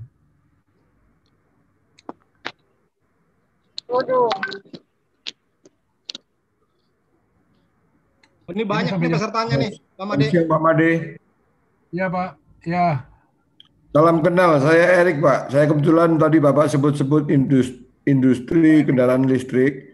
Ya. Kebetulan kami Ya. masuk, kami saat ini bekerja sama dengan Skywell China akan masuk ke dalam bisnis eh, kendaraan listrik untuk bis, Terus li- Transjakarta dan moda-moda transportasi high tech, low tech, and Mau dibantu Pak Made nanti. Ya Pak. Kalau Gimana? Eh, ya. Dalamnya anu, saya saya forward pun saya ke Bapak privately. Mungkin nanti saya bisa di backup. Kami juga membuka kesempatan buat universitas mungkin nanti bisa bekerja sama dengan kami dalam mengembangkan industri listrik, kendaraan listrik di Indonesia, Pak. Makasih, Pak. Bagus sekali Pak Erik. Ya, terima kasih nih. Eh, kalau bisa diwujudkan ya. Nanti kebetulan eh, Transjakarta, eh, Nana lampu mati, astagfirullah. PPD itu kan teman Pak. Ya. Transjakarta dan PPD kan teman mungkin nanti bisa kita bahas ya Pak ya. Terima kasih Pak Iya, Pak. Erik. Terima kasih, Bapak Pak Made. Salam kenal, makasih. Ya, terima kasih. Di Jakarta ya Pak Erik ya? Iya, Pak, di Jakarta, Pak. Betul, Pak. Kami di Jakarta, Pak. Oke. Kami di Jakarta ya. Ah. Ya. Ya, ya ini eh, silaturahmi sambil anu omong-omong Ya, bebas saja. betul. Oke, break. Pak Erik Prayogo itu geng kita Pak Pak Made, geng kita Pak Erik. Gengnya udah Pak Erik. Kalau Bu Tina udah bilang gengnya udah mant udah aman itu. Ya, udah kumpul. Gengnya, geng semua ternyata geng semua. Ya, kan ini ada Pak Ternyata geng semua udah kumpul. Tadi ada saya Bu Didin. Bu Didin mana nih? Ada di sini ada. Pak Erik itu grup kita nih udah udah udah jadi satu nih Pak Made tenang aja udah ada nih. Siap. Ya ke mana-mana kata Pak Kuntoro DNA-nya emang udah kayak gitu kata. Ya, Bu Tina, yang penting terbukti Bu kita buktikan. Nanti dengan Pak Erik. Bu Tina ini ada Pak Dekan eh, Teknik Udayana nih, Pangakan. Oh, oke. Ini juga bikin Pangakan. mobil. Selamat sore Pak Made. Salam kenal Pak Ere, Pak Mesdin. Di sini pagi Pak, selamat pagi di sini. Selamat pagi Pak, Bang Akan, sehat Pak. Ya, sehat Bu. Saya lagi di London Pak, selamat pagi di sini Pak. Oh, lagi di London. Oh, iya, iya, iya, iya, iya. Wah. Ke Bali, nanti November ke Bali ya. Ya, nanti eh, bener itu yang di anu Pak Erik, Pak Erik. Jadi libatkan kami yang di daerah Pak Erik. Siap. Pak Erik. Ya, Pak, kami juga baru baru baru mulai Pak. Mungkin nanti kita sama-sama juga tolong dibimbing itu Pak Made yang senior tuh. Ya, ini saya Pak Made juga dengan IOI-nya beliau ini. Ini kita anu Erik juga pengusaha Pak Made yang mendukung Ya. banyak program-program kita di kampus entrepreneur Pak Pak Erik. Pokoknya kalau ada orang gilanya tuh Erik salah satunya udah masuk gila. Wah, luar biasa. Alhamdulillah. Ya. Made, selamat siang. Selamat siang. Woi, Pak Joko. Eh Pak Joko apa kabar Pak? Aduh. Alhamdulillah. Pak, Kita komunitas saja Pak Joko. eh, maybe-nya udah jalan loh Pak. Kita Oh, iya, punya program gede- besar sekali Pak. Jadi kita akan yang, yang Bapak ceritakan itu kita udah programkan di Maybe Pak. Anggota Oke. saya Maybe sekarang hampir seluruh universitas masuk. Jadi Oh. nanti pemikirannya pemikiran dari semua perusahaan negara juga udah banyak yang masuk, PLN sama Pertamina sama semua uh, perusahaan asosiasi perusahaan hutan semua udah masuk dan kita akan mulai kerja seperti apa yang Bapak ceritakan itu. Jadi kita Oke. akan buat sekarang tugasnya paling berat buat kita itu adalah untuk uh, menyusun rencana usaha penyediaan tenaga listrik tahun 2020 sampai 2030. Jadi ini harus disusun dengan menomorsatukan hutan tanaman industri energi yaitu dalam bentuk pembangunan pe- pembangkit listrik tenaga biomas maupun biogas di seluruh Indonesia, Pak. Dan sekarang itu tidak ada lagi pembangunan PLTU yang di atas 100 meg, eh, di bawah 100 megawatt harus sudah biomas. Bahkan saya sudah memulai, sudah studi, kita akan bikin pembangkit listrik tenaga biomas dengan 400 megawatt, Pak, untuk di Kalimantan Barat. Nah, itu kita akan eh, memakai seluruhnya biomas semuanya padat padat karya dan padat modal, Pak. Jadi apa yang Bapak ceritakan itu kita sudah programkan, bahkan Badan Jualan Elektro kan kita sudah memulai memikirkan di tahun 2017. Nah sekarang semua yang namanya pembangunan listrik desa di daerah 3T yang ada 12.500 itu akan dibangun dengan model yang tadi Bapak ceritakan. Jadi kita mulai menanam sendiri kayunya, kita olah sendiri jadi wucip atau kita jadikan biotelet, kita bangun listriknya, kita buat uh, industri-industri di situ, ada pengeringan ikan, ada industri uh, apa refrigerator. Jadi semua di kampung nelayan yang ada 500 kita akan bangun dengan model-model seperti itu. Sekarang kita udah diminta untuk oleh pemerintah untuk menyusun RUPTL 10 tahun yang akan datang dengan menomorsatukan masa depan energi kita yaitu energi uh, dengan hutan tanaman energi, Pak. Jadi Pak Joko, kita kembali Pak ke Joko, hutan. Pak Ya. ini, Pak, Pak Joko ini ketua MEBI masyarakat apa namanya biomasa. Biomass Biomass Indonesia. Jadi ketua umum Ya. Pak Joko ini eh, baru dideklarasikan bulan lalu Pak ya. Tanggal 15 Pak kemarin Pak. Tapi udah dapat tugas banyak dari pemerintah Pak. Wah, Pak Joko luar Pak, biasa.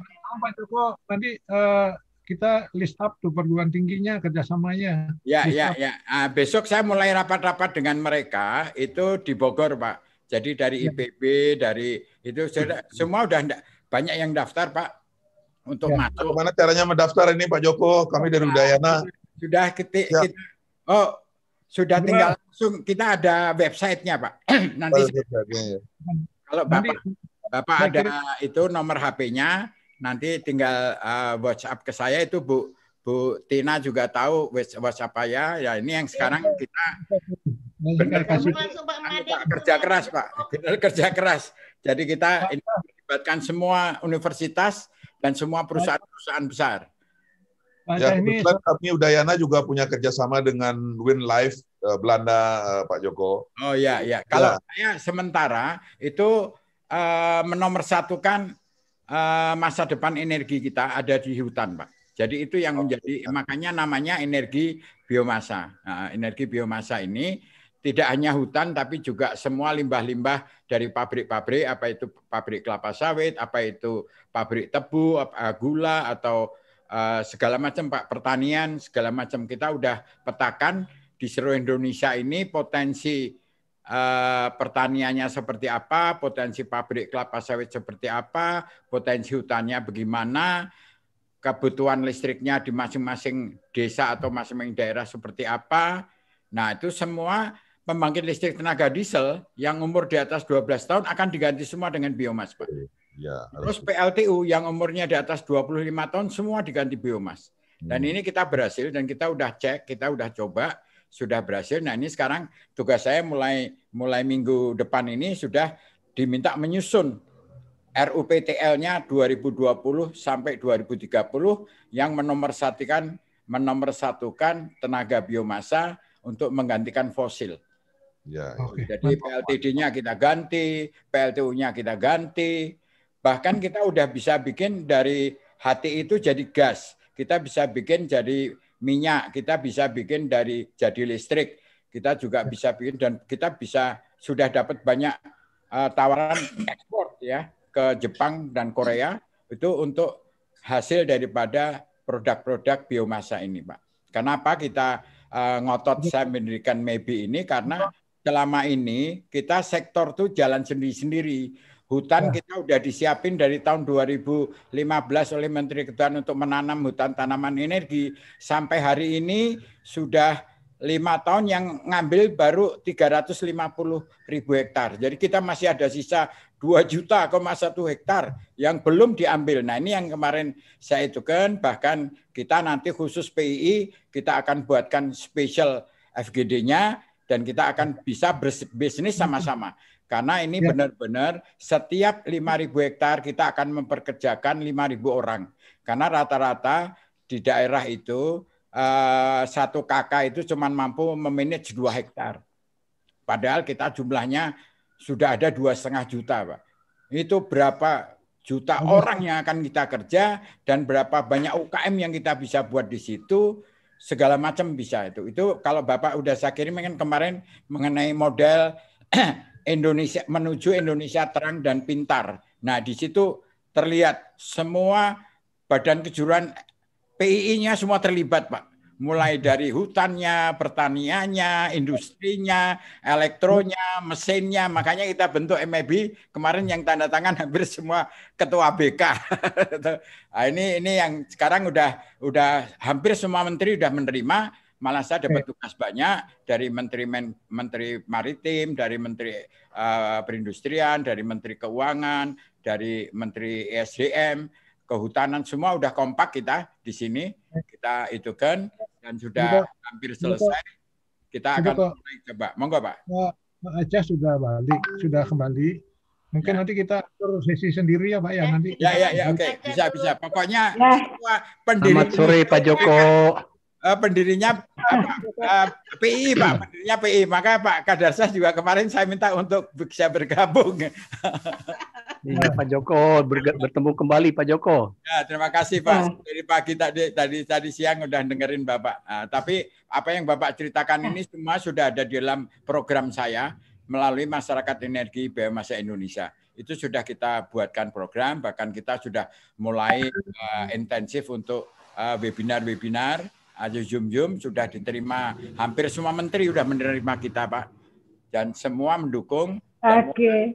deklarasi kemarin juga hampir semua kementerian ikut tanda tangan, bukan hanya PII saja. PII hampir semua BK ikut. Ah, kita, Kembali ke laptop, kembali ke laptop yuk. yuk, monggo silakan. Baiklah, Pak Joko, terima kasih banyak, luar biasa, penuh dengan semangat. Untuk itu, eh, Profesor Kadarsah, silahkan untuk eh, melanjutkan kembali paparannya. Bapak Ibu, kita dengarkan eh, Pak Aca untuk menyampaikan kembali. Silakan Pak Aca. Baik Bu Yani terima kasih. Apakah suaranya sudah bagus sekarang? Sudah bagus Pak, sudah Bagus, lebih Pak, cepat. bagus. Baik. Terima kasih Pak Suyono dari Unhan nih. Bapak Ibu, saya tadi tidak sempat menyapa, mohon maaf tidak kelihatan. Ternyata ada Rektor IPB Profesor Heri Suhardianto. Beliau rektor yang sebelum ini senior saya. Juga beliau pernah Ketua Majelis Rektor Indonesia. Mudah-mudahan masih ada di sini Pak Heri. Selamat bergabung.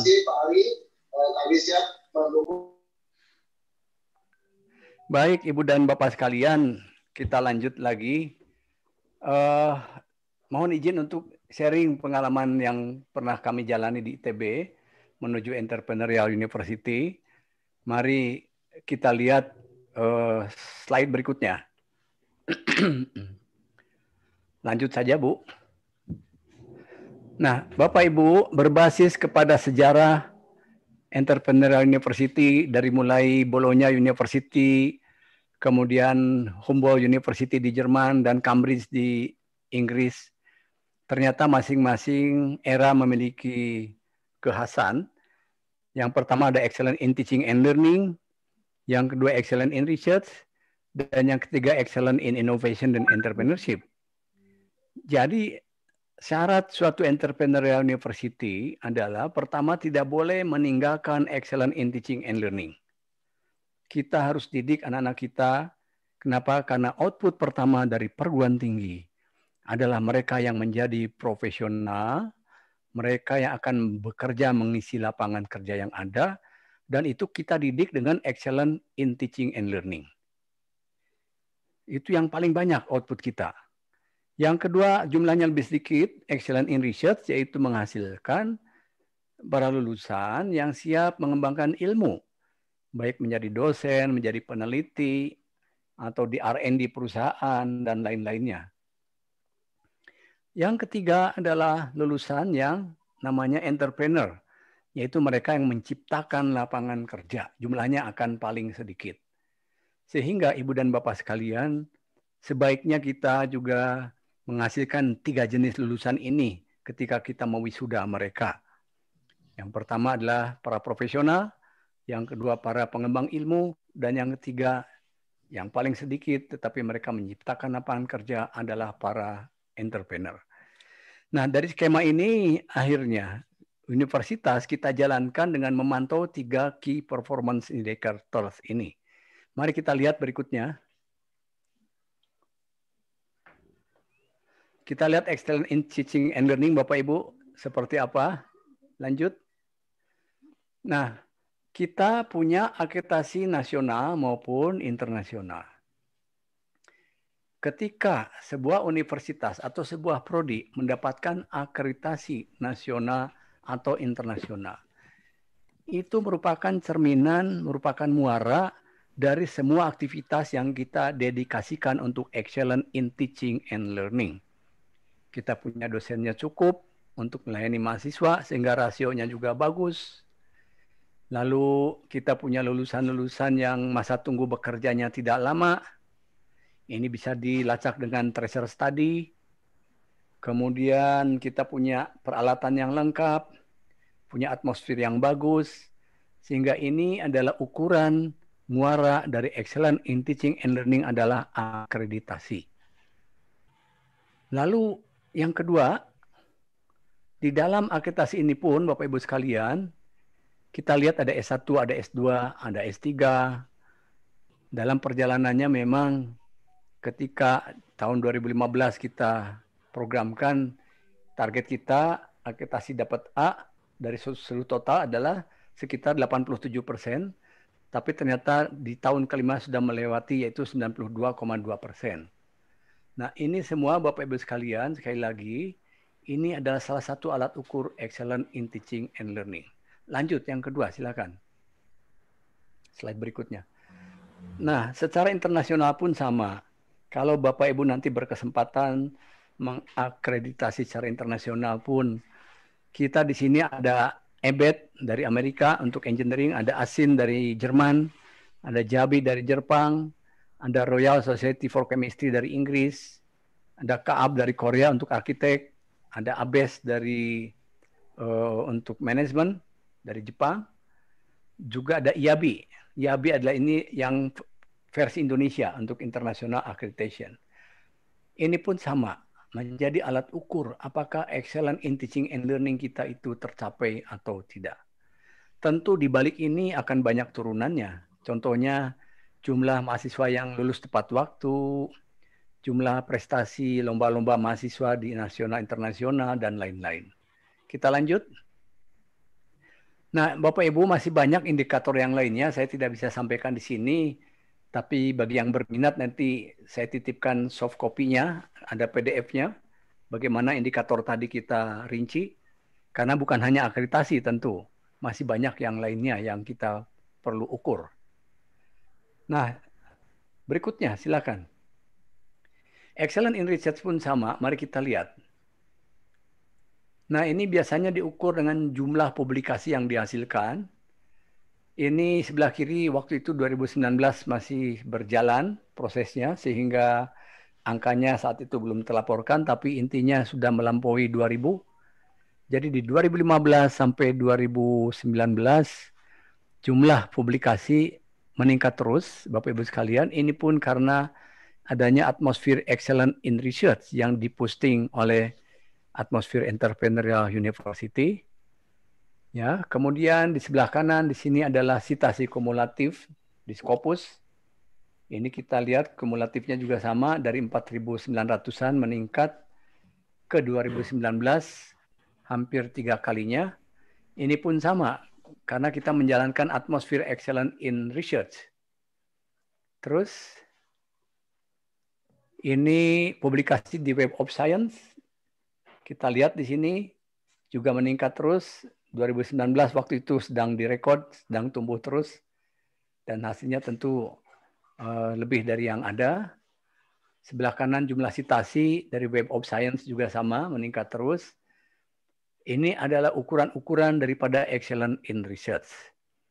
Masih banyak yang lain, tapi tidak bisa ditayangkan di sini karena terbatas waktu. Lanjut. Untuk yang berminat, silakan. Nanti saya titipkan ke panitia supaya di-share apa-apa yang menjadi ukuran-ukuran tadi. Kita lanjut. Slide berikutnya. Nah ini excellent dalam inovasi merupakan ciri khas berikutnya dari Entrepreneurial University. Mohon izin saya sampaikan agak detail di sini. Pertama kita melihat, lanjut slide berikutnya. Unit apa yang menjadi kelengkapan entrepreneur university yang dijalankan di Bandung? Lanjut. Nah, di samping adanya 12 fakultas sekolah dan satu pasca sarjana, di samping unit pendukung akademik, ada 113 kelompok keahlian yang mewadahi 1.500 dosen lebih kurang, di mana masing-masing kelompok keahlian inilah diberikan PR, diberikan indikator keberhasilan 3H. Yang pertama bagaimana mendukung excellent in teaching and learning. Kuliah tepat waktu, nilai tepat waktu, lalu juga bimbingan jalan, mahasiswa lulus tepat waktu, dan banyak lagi. Itu adalah excellent in teaching and learning-nya. Lalu excellent in research, penelitian juga jalan, publikasi jalan, kerjasama dan juga bimbingan S3 khususnya jalan, termasuk kerjasama dengan industri maupun dengan lembaga-lembaga lainnya. Lalu kelompok keahlian juga punya PR peningkatan inovasi, biasanya lintas disiplin, baik antar fakultas yang sama, lintas fakultas, bahkan lintas universitas. Dan kerjasama dengan dunia usaha, dengan sektor pemerintahan, swasta, maupun LSM atau dunia sosial yang lainnya. Lalu di backup oleh tujuh pusat penelitian, nanti kita lihat apa saja. Tujuh pusat penelitian ini sifatnya top down, yaitu komitmen dari perguruan dari institut. Sedangkan yang 24 entiti pusat lainnya itu bottom up, adalah komitmen tumbuh daripada sivitas akademika. Lalu ada pus, 9 pusat unggulan IPTEK nasional, nanti kita lihat. Tentu ada LPPM. Nah, ada LPIK Lembaga Pengembangan Inovasi Kewirausahaan ini mirip dengan Oxford Science Innovation. Tadi yang di Oxford atau di apa namanya di MIT itu yang namanya Technology Licensing Office. Lalu ada juga Science Technopark. Kemudian kita punya BPUDL, Badan Pengelola Badan Usaha dan Dana Lestari ini mengelola perusahaan-perusahaan yang ada di dalam ITB. Ini adalah unit-unit kelengkapan yang kita jalankan. Kita lanjut. Ini yang tujuh research center, dari mulai center untuk energi baru, ini Pak Joko, saya kira tadi sudah cerita banyak tentang energi baru Indonesia, lalu ICT, lalu bioscience dan bioteknologi, kemudian infrastruktur regional, kemudian budaya dan lingkungan, kemudian di mitigasi bencana, dan juga adalah riset tentang nano science dan teknologi. Ini pusat penelitian yang top down, yang sepenuhnya menjadi komitmen institusi. Kita lihat yang berikutnya. Ini masih yang tadi dalam Lalu ada sembilan pusat unggulan IPTEK ini dibiayai oleh pemerintah dari mulai untuk broadband wireless access, kemudian ada untuk climate change, carbon capture storage, untuk nanomaterial, industri teknologi pertahanan, lalu transportasi berkelanjutan, lalu uh, mitigasi gempa, bioscience, artificial intelligence, dan smart city. Ini ada sembilan pusat penelitian yang dibiayai pemerintah untuk memajukan inovasi. Kita lanjut. Nah, di LPIK sendiri ini analogi dengan yang dilakukan di Technology Transfer Office-nya di MIT atau di Stanford. Banyak program yang kita lakukan. Salah satunya adalah TOP, TOP, yaitu Technology ma maaf, Technopreneur Orientation Program. Yaitu kita membina para inovator, para startup, baik dari dalam institusi maupun dari masyarakat luas Lalu diberikanlah berbagai macam uh, wawasan, baik kita mendatangkan para entrepreneur yang sudah sukses, para calon investor, para industri, untuk dipertemukan dengan inovator tadi. Sehingga hasil risetnya tidak berhenti di kampus, tapi langsung ditangkap di industri dan di masyarakat luas. Kita lanjut. Ini eh, bentuk pengorganisasian dari LPIK, Lembaga Pengembangan Inovasi Kewirausahaan. Di sebelah kiri warna kuning nomor satu ada Innovation Park. Di sini membangun. Apakah suara saya masih bisa didengar? Mantap, Bro. Masih. Masih, Bro. Baik. Bisa, Bro. Kita lanjut. Aman. Baik, Bro. Siap, kita lanjut. Yang kedua ada teknologi transfer office, itu mirip yang apa tadi yang di Oxford dan di MIT. Kemudian ada inkubator dan akselerator untuk startup supaya lebih cepat berkembang. Dan yang keempat adalah pengembangan entrepreneur. Nah, semuanya melibatkan sumber daya baik dari dalam maupun dari luar kampus, termasuk kita punya networking dengan industri dan sejumlah entrepreneur yang berhasil dan sukses, termasuk para penyandang dana atau investor. Kita lanjut. Nah, ini Bapak Ibu sekalian, peran dari LPIK itu mempertemukan di sebelah kiri lingkungan akademik dan di kanan adalah industri, di tengah ada LPIK. Jadi apa-apa yang dihasilkan dari kampus dijembatanin oleh LPIK supaya pihak industri dan masyarakat luas mengenalinya dan bisa memakainya. Juga pihak perbankan, perbankan dan para modal ventura, para angel capital pun kita undang untuk memilih mana yang bisa dibiayai. Lalu tentu masyarakat luas termasuk industri-industri besar. Nah, Ibu dan Bapak sekalian, di sinilah terjadi suatu proses pengelolaan inovasi, kekayaan intelektual, sampai membangun bagaimana teknologi transfer office itu bisa berjalan. Kita lanjut. Nah, tadi ada yang namanya Ventura atau Business Angel Groups. Apa, apa perannya? Kita lihat dalam slide berikutnya. Boleh jadi ada suatu inovasi sudah bagus secara akademik, secara riset, tetapi nggak bisa dipakai di masyarakat luas. Mirip kita bangun jembatan ada satu meter yang masih bolong. Ini berbahaya. Kenapa? Sudah capek-capek tidak bermanfaat. Maka yang bolong ini, yang missing ini perlu dibantu oleh angel capital, oleh pemodal, oleh investor. Slide berikutnya silakan. Kalau tidak, kita akan masuk dalam startup valley of death, lembah kematian. Ini banyak terjadi, kenapa? Karena lupa. Investor tidak diajak bicara, lalu para pengguna produk juga tidak diajak bicara, sehingga LPIK mempertemukan keduanya. Lanjut. Sehingga harapannya menjadi 0% yang bolong. Ini adalah esensi yang saya titipkan kepada LPIK Jangan sampai ada startup yang mati di tengah jalan, tapi harus dikawal terus dengan bekerja sama dengan semua pihak. Kita lanjut. Nah, di sini Bapak Ibu sekalian, kita lihat di tahun 2015 hanya ada 37 startup dan di tahun 2019 sudah ada 112 yang dihasilkan dengan pembinaan dari LPIK ini. Lalu kita lihat di sebelah kanan atas yang biru, kiri atas maaf. Di sini ada pihak akselerator dari kampus yaitu LPIK itu sendiri. Di bawah ada founders and management. Di sini adalah pihak pakar-pakar dari dalam dan luar kampus, para penyandang dana. Di sebelah kanan di sini juga yang punya eh, modal besar termasuk venture capital baik itu bank maupun yang lainnya.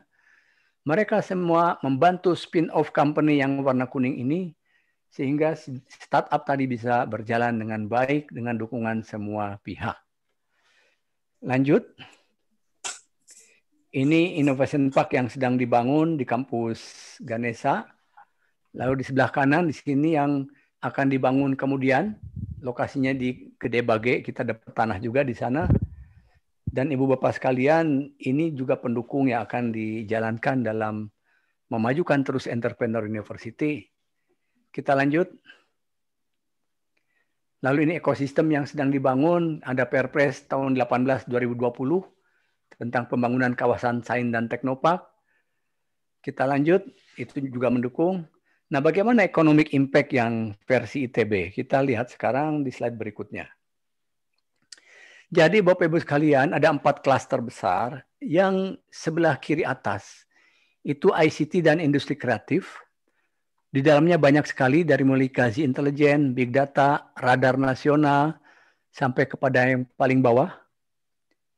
Lalu ada pangan, kesehatan, dan ilmu hayati tentang mikrobial simbiosis, lalu udara untuk deteksi dini penyakit menjular, ada Eragano sampai kepada Reka Cipta Bioteknologi Indonesia.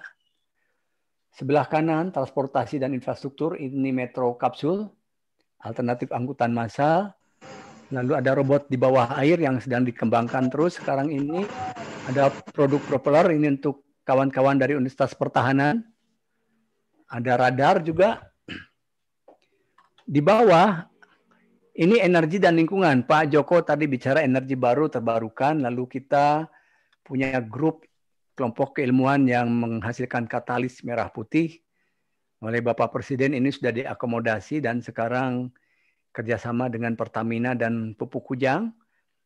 Lalu katalis ini bisa merubah sawit menjadi solar, menjadi aftur, dan menjadi bensin. Lalu kalau nanti sudah diproduksi massal, insya Allah impor BBM akan berkurang sehingga uh, belanja dolar semakin kecil dan negara menghemat banyak. Lalu Tesla daya elektrika ini untuk menghemat penggunaan atau meningkatkan efektivitas uh, tenaga listrik, jangan sampai kena serangan petir.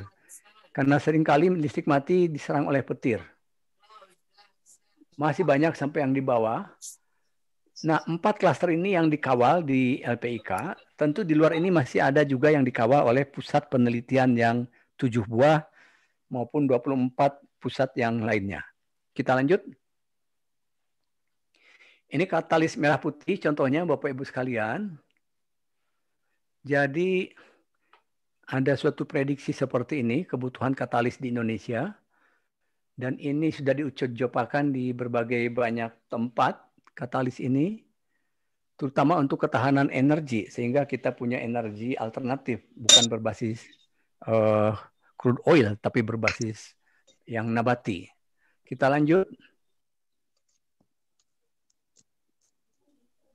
Lanjut. Nah, ini upaya mandiri energi kita lihat di sini ada bensin nabati, diesel nabati dan bioaftur.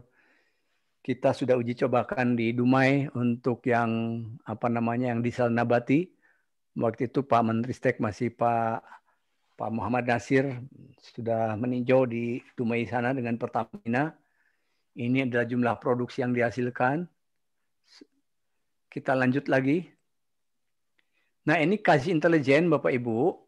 Ini kalau pakai PowerPoint ini hidup gambarnya. Di sebelah kanan bawah ini sebetulnya menunjukkan peta dunia. Dan dengan aplikasi intelijen kaji ini kita bisa memantau pergerakan informasi secara real time dari detik ke detik, dari mana negara mana ke negara mana, dari siapa kepada siapa.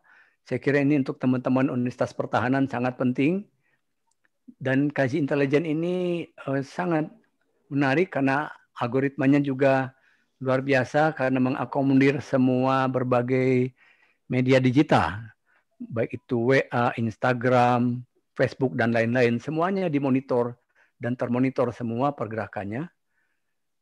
Kita lanjut lagi. Ini yang Tesla daya tadi, Bapak Ibu kalau kita perhatikan, suatu jaringan listrik itu karena dia towernya juga tinggi. Sangat rentan dengan serangan petir. Ketika serangan petir terjadi, maka listrik mati, pabrik terhenti produksinya. Ini yang bahaya. Kantor-kantor juga terganggu.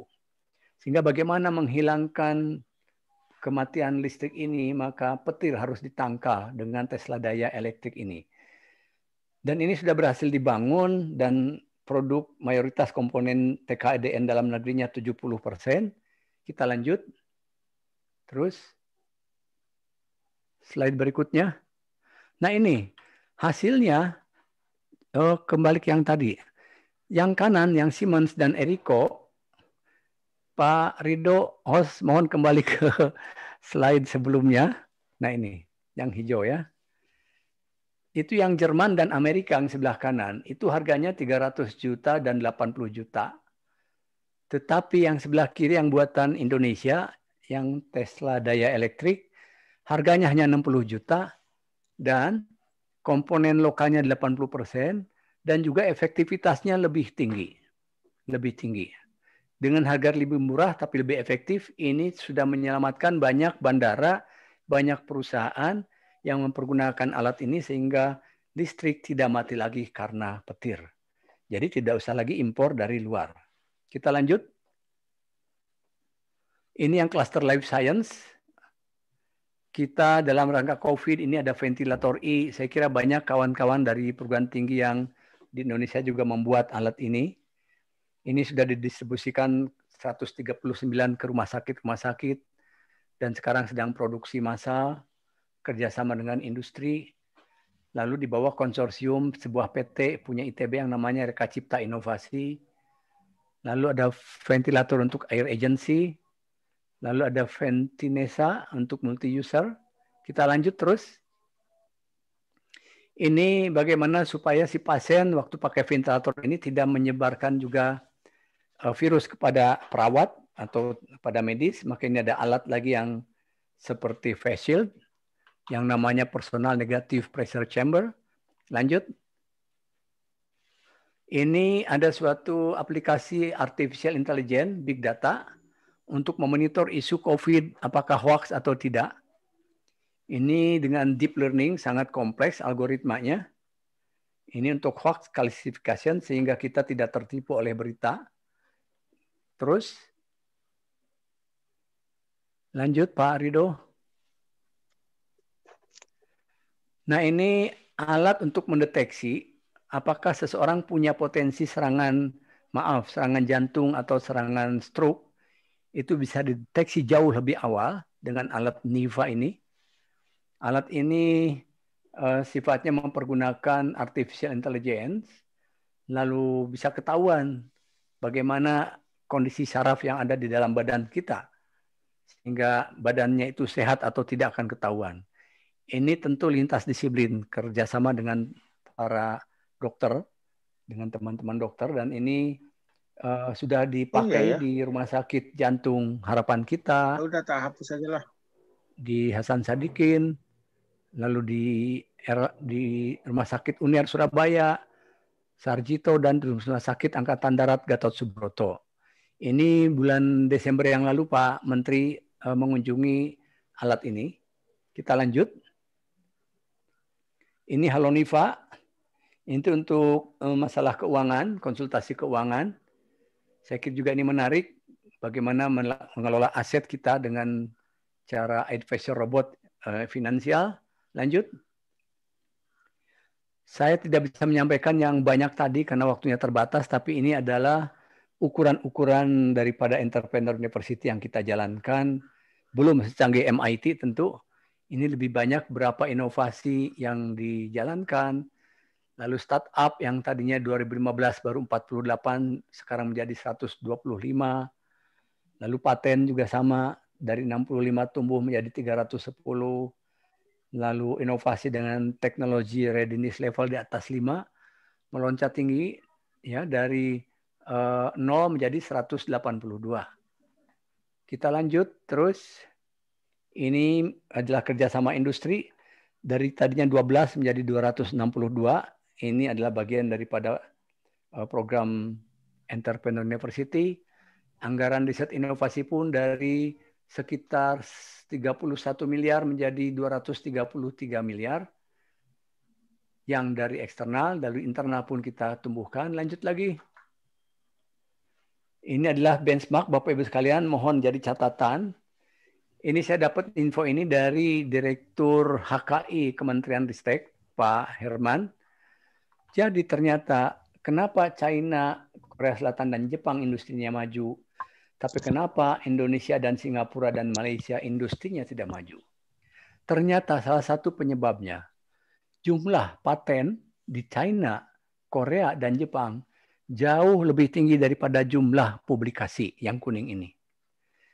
Sedangkan di Indonesia, Singapura, dan Malaysia, jumlah publikasi itu masih lebih tinggi daripada patennya. Patennya masih rendah. Ini juga menyebabkan kita tidak punya national branded product. Tadi Pak Made sudah memberikan challenge kepada kita, marilah kita sama-sama majukan industri nasional. Salah satunya memang lakukan inovasi, paten. Saya kira Universitas Brawijaya, lalu IPB itu patennya luar biasa, banyak sekali. Itu patut kita contoh. dan juga UGM, UI, ITS, Erlangga, teman-teman dari PTS juga sudah banyak yang bergerak di paten. Mari kita sama-sama bergerak supaya jumlah paten pun meningkat dan kita mendukung nasional branded product ini. Kita lanjut. Kalau ada yang berminat juga nanti ada yang lebih lengkap lagi, saya tidak bisa menyampaikan lebih rinci. Ini dokumennya yang warna biru di sebelah kanan. Lanjut. Nah, masih banyak hasil yang lain yang tidak bisa saya sampaikan. Kita lanjut saja. Nah, Bapak Ibu sekalian, revolusi industri 4.0 merupakan tantangan pada kita. Kita masuk era big data, artificial intelligence, robot, computing, coding, programming. Lalu kita semua sebaiknya kerjasama lintas universitas, lintas disiplin. Silaturahmi penting. Kenapa? Karena dengan silaturahmi yang tidak tahu menjadi tahu, yang tidak bisa menjadi bisa, yang kecil jadi besar, yang lemah menjadi kuat, yang tidak mungkin menjadi mungkin. Maka lintas disiplin antar kita semua itu menjadi penting. Lalu PR kita adalah tiga. Kita harus mendukung IPM, Indeks Pembangunan Manusia, yaitu kesehatan, pendidikan, dan kesejahteraan atau ekonomi. Ini ada tugas kita di perguruan tinggi. Atau kalau kita mau bergerak lagi masuk dalam cutting edge generasi keempat, dan tentu lintas disiplin antar kita semua. Kita lanjut. Ini kita lihat perlu juga kolaborasi internasional seperti yang dilakukan MIT dan Stanford atau Oxford. Ini data Indonesia, kolaborasi internasional kita yang paling banyak dalam bidang pertanian. Ini Pak Rektor IPB, Prof. Ferry, pertanian, Pak Rektor Unpas. Unpad juga sama punya pertanian, UGM dan semuanya. Lalu engineering juga banyak, kemudian computer science, medicine, kedokteran, lalu physics, fisika, social sciences. Yang lainnya kedokteran gigi masih sedikit, lalu arts humanity masih sedikit, kedokteran hewan masih sedikit. Mari kita tingkatkan kerjasama internasional ini dalam rangka mendukung entrepreneur university. Kita lanjut. Uh, ini adalah perjalanan bagaimana lima tahun dengan atmosfer Entrepreneur University ranking PS dari 461 menjadi 331, artinya loncat 130 dalam lima tahun. Itu juga karena atmosfer daripada uh, Entrepreneur University. Kita lanjut lagi. Nah, ini saya ingin menyampaikan apresiasi kepada kawan-kawan dari semua perguruan tinggi, kawan-kawan dari PTS, dari PTN, dari semuanya terutama mereka yang melakukan penelitian, inovasi, entrepreneurship. Beliau semua adalah pemimpin. Siapa pemimpin? Mereka adalah manusia biasa yang menghasilkan karya luar biasa. Karya untuk orang banyak. Kita lanjut. Terima kasih. Assalamualaikum warahmatullahi wabarakatuh. Waalaikumsalam warahmatullahi wabarakatuh. Waalaikumsalam warahmatullahi wabarakatuh. Mantap, Prof. Terima kasih Pak Aca. Terima kasih, Prof. Terima kasih. Biasa. Terima kasih Prof. Ribut juga. Terima kasih, terima kasih. Alhamdulillah Pak Catur sudah Waalaikumsalam warahmatullahi wabarakatuh. Terima kasih materinya. Salam. Mantap, Pak. Terima kasih, Prof. Silakan Pak Catur. Terima kasih Prof. Atur Catur, silakan kembali Pak. Iya, baik. Terima kasih. Mohon maaf. Terima ini kasih Prof. Kadarsah, luar biasa. Internet saya lagi problem. Seluruh kompleks, eh, 15 kompleks perumahan di Cinere mati. Baik, Bapak Ibu Oh. sekalian. Hilang lagi Pak Catur. Beri aplaus yang luar biasa kepada Pak Kadarsah. Luar biasa. 140 halaman slide yang sudah dipresentasikan. Masih ada materi-materi yang lain yang tertinggal yang nanti akan disusulkan barangkali Pak Kadarsah. Siap, Baik, siap. eh, kami memberikan satu kesempatan kepada Bapak Ibu. Satu dua pertanyaan kita masih punya waktu. Eh, silahkan yang akan mengajukan pertanyaan langsung mengacungkan tangan dan bisa eh, memberikan pertanyaan. Silakan Bapak Ibu sekalian. Itu ada Pak Dirjen, Pak Srihartoyo, Dirjen PUPR. Selamat bergabung Pak Srihartoyo. Pak Siartoyo, silakan. Eh, Pak Sri, Ya. punya mulia saya. Eh, ini ada yang angkat tangan Pak eh, Dr. Gembong Baskoro. Pak Dr. Gembong Baskoro, silakan. Terima kasih Pak Pak Kak Pak Kadasa selamat, selamat ketemu kembali. Terima kasih atas presentasinya yang luar biasa ya mengenai entrepreneurial university. Saya kira ini sebuah pendekatan perguruan tinggi yang yang terbaru ya. Apalagi dalam kondisi seperti ini di mana perguruan tinggi dituntut bergerak lebih jauh dari uh, comfort zone-nya yang tridharma itu. Nah, pertanyaan saya adalah bagaimana sebenarnya yang yang harus kita lakukan dalam konteks ini adalah tenaga utama pendidikan tinggi itu kan dosen. Merubah mindset, kultur set, mindset dan kultur setnya yang sudah terpola tridharma, ya pendidikan, penelitian, pengabdian masyarakat menjadi seorang yang di luar kotak, yaitu berjiwa entrepreneur juga. Nah, culture ini ya yang kami perlukan bagaimana merubah culture ya dosen-dosen yang sudah terbentuk begitu lama. Saya kira itu pertanyaan Pak Kadasah. Terima kasih atas waktu dan kesempatannya. Oke, makasih. Kita tampung Silakan, dulu ya. Pak Kadasah. Oke, satu Langsung lagi aja, Pak mungkin. Catur. Bentar, ada lagi saya yang bertanya? Nawaci. Eh, boleh Pak Catur? Ya, silakan Ibu Nur. Ya baik.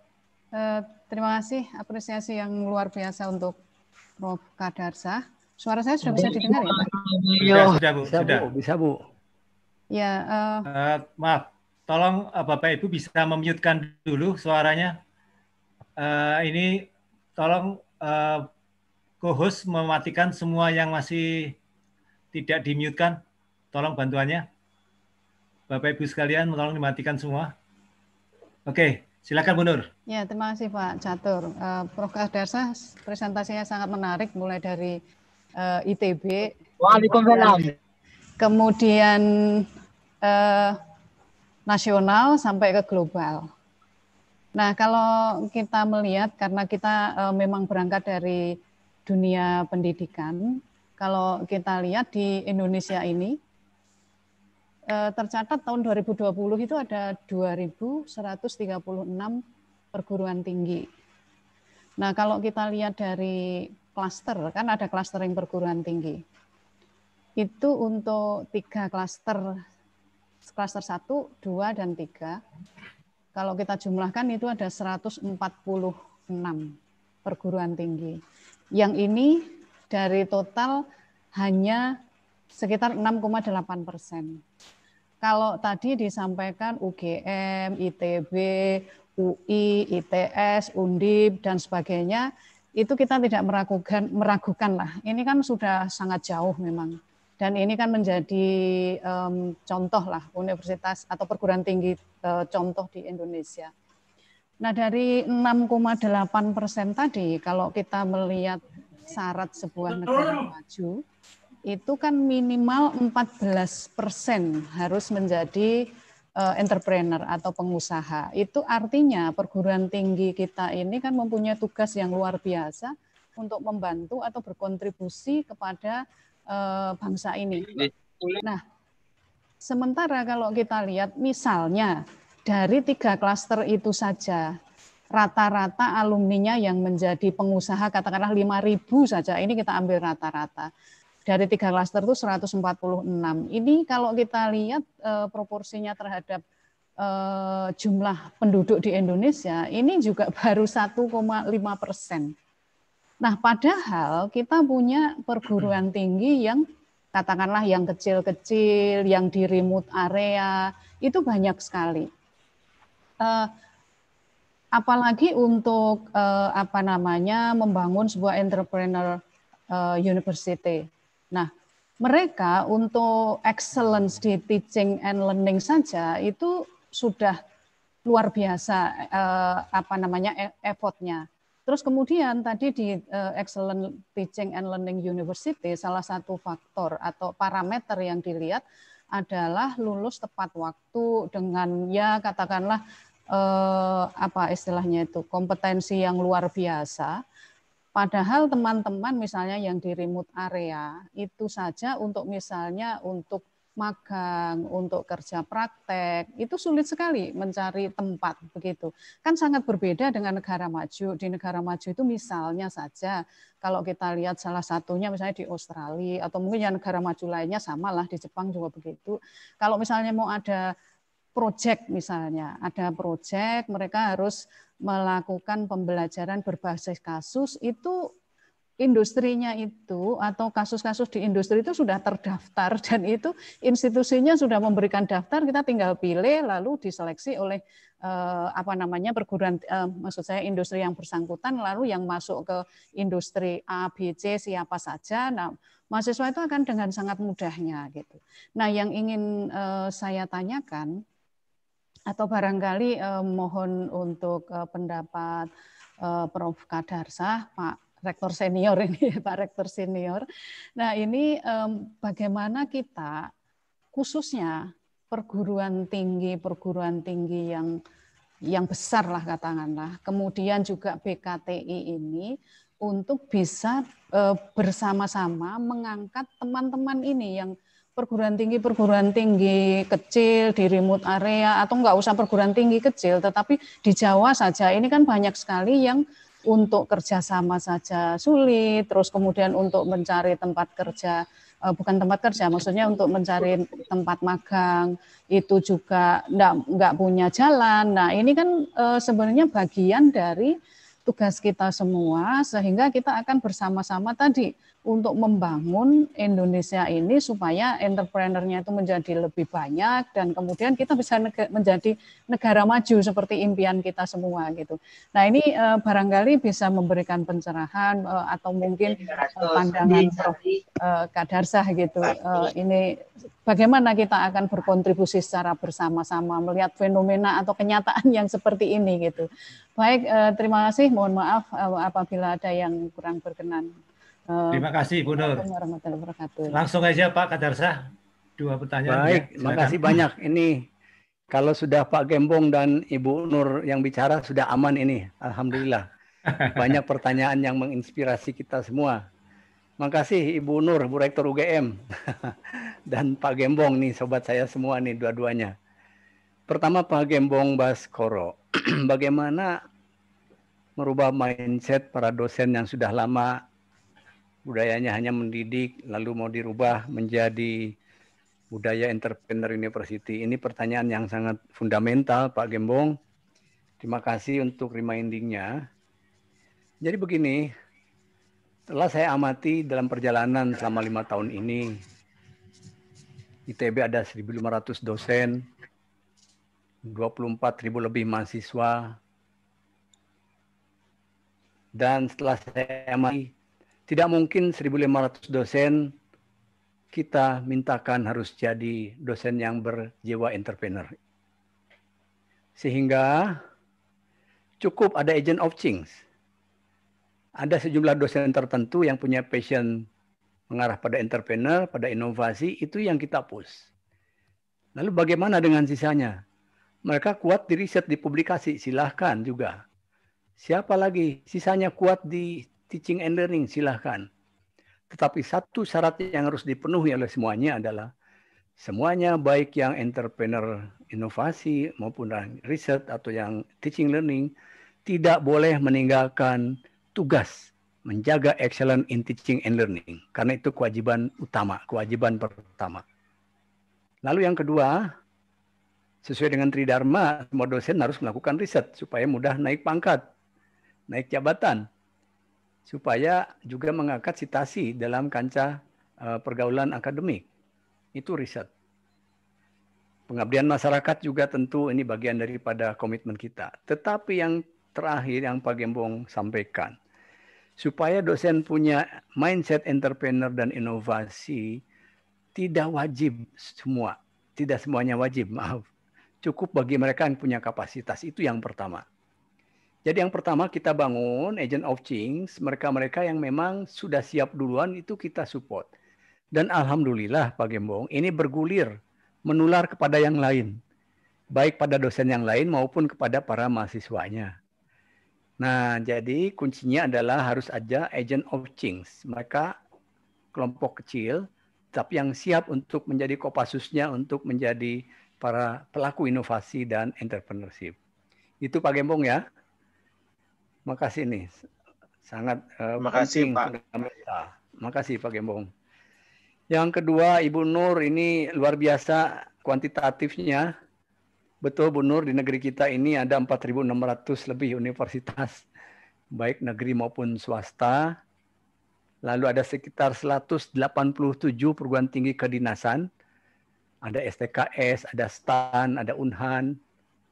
Itu masuk dalam 4.600-an tadi. Lalu PTN-nya ada 122 di bawah Dikti, yang lainnya di bawah Kementerian Agama, sisanya adalah PTS. Nah, yang Ibu Nur sampaikan itu betul sekali. Kalau kita mau mencapai 40 per- 14 persen lulusan jadi entrepreneur itu suatu PR yang sangat berat. Berat sekali. Tadi Ibu Nur menghitung 146 klaster 1 hanya 6,8 persen. Saya teringat di tahun 2012 atau 13 ada Kongres Internasional Entrepreneurial University dunia. Tepatnya di Kuala Lumpur. Ternyata perguruan tinggi yang sudah berkelas dunia yang maju entrepreneur university seperti MIT, Stanford, Cambridge dan kawan-kawan. Jumlah lulusan yang jadi entrepreneur itu rata-rata 8 persenan, Bu. Rata-rata dunia yang sudah maju. Jadi tugas untuk menciptakan entrepreneur bukan hanya dari perguruan tinggi. Saya setuju dengan Ibu Nur, tidak mungkin kalau semuanya dibebankan pada kita. Tapi ada hal yang sangat penting yang kita perlu sambut baik yang disampaikan Ibu Nur. Ini sangat mulia mengajak kita semua bersama-sama bergerak, membantu memajukan kawan-kawan kita yang ada di remote. Karena itu ada tanggung jawab kita semua untuk membantu saudara kita semuanya supaya maju bersama. Lalu caranya bagaimana? Tadi Ibu Nur sudah menyampaikan kita punya forum BKSTI di segenap tanah air. Ini Pak Made, Pak Ketua, Pak Catur, dan Bapak Ibu sekalian, saya kira ini ajakan yang sangat harus kita sambut bersama, Bu Nur. Thumb up, dua jempol untuk Ibu Nur. Dan yang ketiganya, ketika entrepreneur akan dibangun, tidak mesti sama bidangnya. Contohnya begini, ada perguruan tinggi di daerah yang kuat pertanian, ya pertaniannya dikuatkan di situ. Ada yang di daerah yang perikanan, perikanannya perkuat. Yang eh, kuat di daerah misalkan apa namanya kelautan, kelautannya diperkuat. Sehingga satu sama lain sama-sama memberikan manfaat. Pertama adalah kepada lingkungan sekitarnya. Banyak resources yang bisa kita majukan di masing-masing lingkungan setempat kalau itu dikelola secara entrepreneur yang betulan. Wong negara yang nggak punya sumber daya aja bisa maju. Tadi Pak Made menyebutkan, kita punya banyak. Tetapi yang harus kita ingat juga bahwa ada empat jenis entrepreneur. Pertama, misalkan seorang anak lulusan Ya, dijemput. fisika. Lulus tepat waktu dari fisika, tetapi setelah lulus jadi entrepreneur, dia buka toko. Jual kebutuhan sehari-hari. Itu pun entrepreneur Bapak Ibu sekalian, sekalipun di luar bidangnya. Kenapa? Dia punya karyawan, dia membantu masyarakat luas untuk mendapatkan barang komoditi. Ini entrepreneur jenis pertama. Yang kedua, misalkan ada seorang sarjana mesin, lulus, lalu dia nggak bekerja di mana pun, tapi dia bekerja di rumah, membuat desain roda gigi. Setelah desain roda gigi ini jadi, prototipenya dibeli oleh pabriknya Pak Made di Toyota. Ini pun entrepreneur Bapak Ibu sekalian. Dia punya paten royalti yang mengalir terus dari hasil karyanya. Atau mungkin dia bikin pabrik roda giginya sendiri dengan bantuan perusahaannya Pak Made sehingga roda gigi ini dibikin sendiri lalu disuplai dengan bimbingan tepatnya Pak Made menjadi supplier setia daripada Toyota. Ini pun entrepreneur di bidangnya. Atau yang ketiga, dia nggak bekerja di mana-mana, diam di rumah, tetapi setiap saat dapat order dari perusahaannya Pak Made, dari Toyota misalnya, untuk selalu meningkatkan kapasitas produksi ketika ada masalah. Dia melakukan riset dengan kawan-kawannya, lalu hasil risetnya dikembalikan ke pabrik, dia dibayar, dapat uang, ini pun entrepreneur Bapak Ibu sekalian. Itu yang kita sebut technopreneur, jadi dia pada bidangnya. Yang keempat adalah dia melakukan pekerjaan kerjasama dengan kawan-kawannya dibantu dari Benar Pak. Dirjen Sri Hartoyo membangun jembatan menghubungkan dua sungai yang memisahkan dua desa. Karena apa? Jembatannya terhubungkan Di sini kan kita nggak ada yang tahu. kedua desa bisa berhubungan secara ekonomi dan sosial. Ini adalah sosiopreneur. Dia menghasilkan nilai tambah sosial untuk masyarakat luas. Dari situ bisa berkembang entrepreneur yang lainnya tentu pasti. Bidang hukum mungkin jadi kantor lawyer, kantor pengacara hukum dan lain-lain. Jadi Bu Nur dan Bapak Ibu sekalian, saya setuju 100% yang disampaikan Ibu Nur. Untuk kita semua, marilah bersama-sama bahu-membahu, kita saling membantu kawan-kawan kita yang di remote kita bantu. Dan tadi jangan paksakan menjadi entrepreneur tetapi nanti tidak jadi apa-apa. Tapi manfaatkanlah entrepreneur pertama adalah bermanfaat untuk masyarakat sekitar, kalau masih mungkin untuk masyarakat nasional, lebih mungkin lagi masyarakat global. Tadi Pak Joko Winarno cerita tentang masyarakat ekonomi baru Indonesia.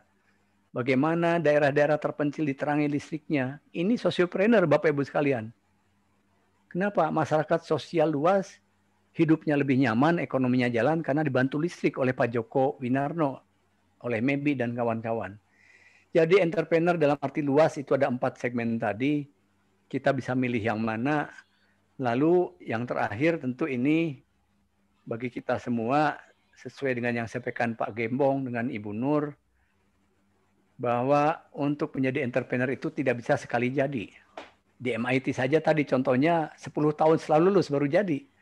Baru setelah itu sekarang tiga tahun setelah lulus. Nah, adik-adik kita pun sama. Belum tentu dia lulus langsung jadi entrepreneur. Perlu pembimbingan dulu dari inkubator-inkubator tadi. Nah, inkubatornya siapa? Ya kita semua sesuai dengan bidangnya masing-masing. Saya kira itu Pak Catur, Bu Nur, Bu Rektor UGM, Pak Gembong, dan Bapak Ibu semuanya. Makasih. Terima kasih Prof. Kadarsa. Baik, terima kasih eh, Pak Kadarsa. Eh, sebenarnya masih banyak pertanyaan yang sudah ada yang dimajukan di form pertanyaan ya, Bapak Ibu sekalian. Di ruang chat itu ada eh, form eh, pertanyaan yang diajukan Bapak Ibu sekalian, tapi mungkin tidak bisa seluruhnya eh, terjawab, tetapi kami berharap kami akan kumpulkan dan di kemudian hari eh, Pak Kadarsah mungkin akan memilah dan menjawabnya. Nanti akan kami koordinasikan Pak Kadarsah. Baik, eh, Bapak Ibu sekalian, eh, karena juga waktu kita sudah habis dan eh, tentu saja masih banyak agenda lain dari Bapak Ibu sekalian yang harus dilanjutkan. Eh, kami akhiri acara ini dan sebelum diakhiri Bapak Ibu sekalian ingin kami sampaikan ucapan terima kasih bahwa pada event kali ini Lembaga Pelatihan Kompetensi telah mendapatkan sponsor dari PT PAL Surabaya. Di belakang saya ini adalah uh, kami sampaikan bahwa PT PAL telah memberikan uh, CSR-nya kepada uh, PT LPK, eh, maaf, pada LPK Teknik dan Manajemen Industri pada event kali ini.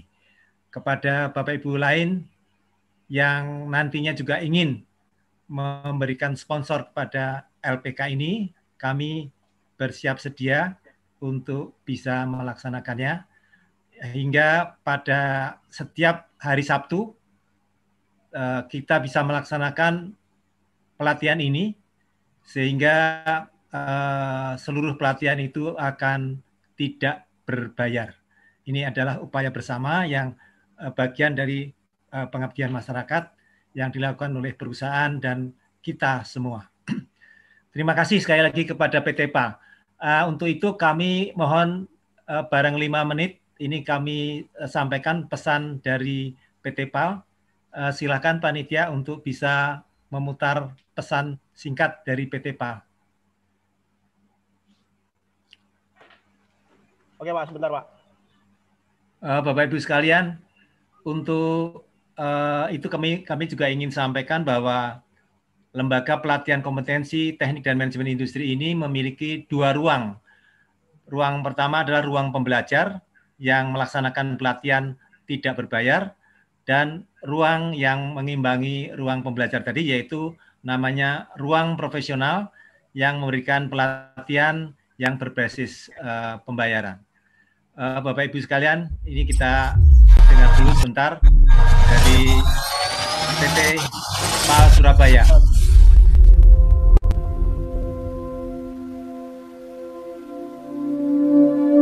Seperti cahaya matahari pagi, perlahan tapi pasti akan menerangi setiap sudut ruang di bumi.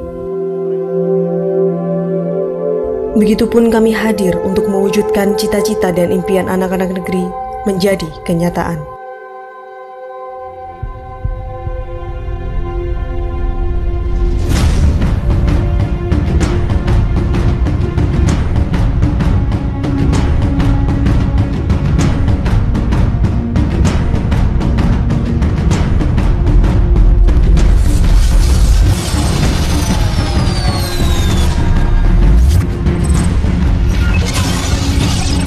Berawal dari satu keinginan untuk memiliki industri galangan kapal nasional yang mampu merawat dan memelihara peralatan pertahanan matra laut secara mandiri.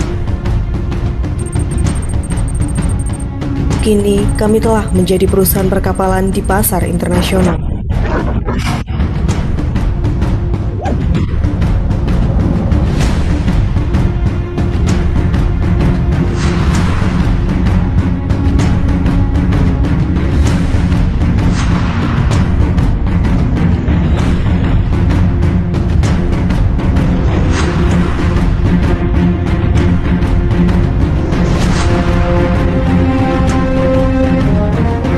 Berkembang dari berbagai tantangan yang telah menanamkan benih-benih keahlian untuk menorehkan prestasi demi kebanggaan dan martabat bangsa.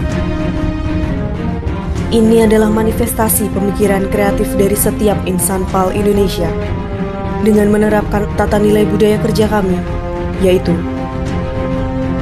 amanah, kompeten, harmonis, loyal, adaptif, dan kolaboratif. Maka produk yang kami hasilkan selalu menjadi produk dengan kualitas terbaik. Pembangunan kapal perang dengan fasilitas dan kemampuan yang ada, kami telah menyelesaikan beberapa varian kapal landing platform dan kapal kombatan sampai kelas frigat.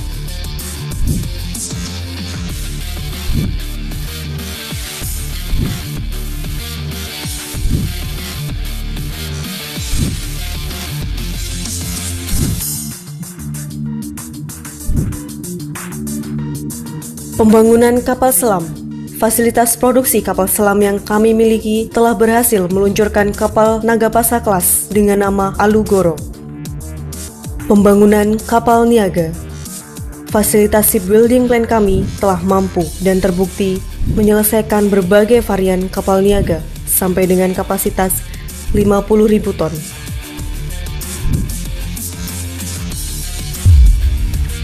Di bidang energi, kami telah menyelesaikan beberapa proyek sarana dan prasarana eksplorasi minyak dan gas bumi, serta sumber daya mineral lainnya.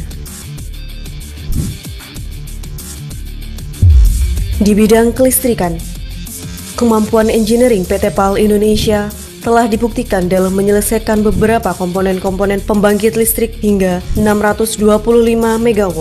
Saat ini kami membangun dual fuel barge mounted power plant 150 MW. Jasa pemeliharaan, perbaikan, dan overhaul. Seluruh fasilitas dan kemampuan yang kami miliki beroperasi secara simultan untuk produksi kapal baru maupun jasa pemeliharaan, perbaikan, dan overhaul. Kami berjanji untuk terus berinovasi dan berkarya bagi Ibu Pertiwi untuk mewujudkan kemandirian industri strategis pertahanan matra laut demi menjaga kebesaran, kehormatan, dan kejayaan bangsa Indonesia.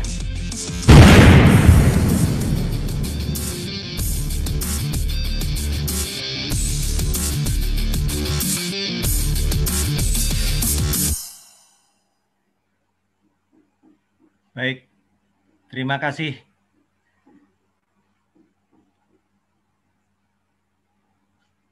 Demikian uh, pesan singkat dari PT PAL Indonesia uh, yang dari Surabaya. Terima kasih sekali lagi kepada Direksi PT PAL. Uh, Bapak Ibu sekalian, uh, sebelum kita tutup, kami akan menyampaikan ucapan terima kasih sekali lagi kepada Profesor Kadersah dan Bapak Made Dana Tangkas. Kepada panitia uh, bisa disiapkan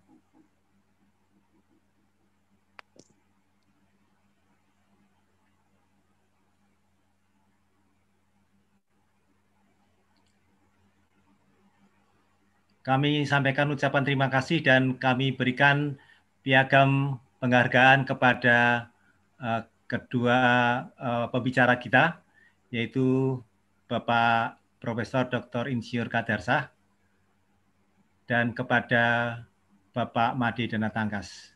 Kita beri aplaus bersama.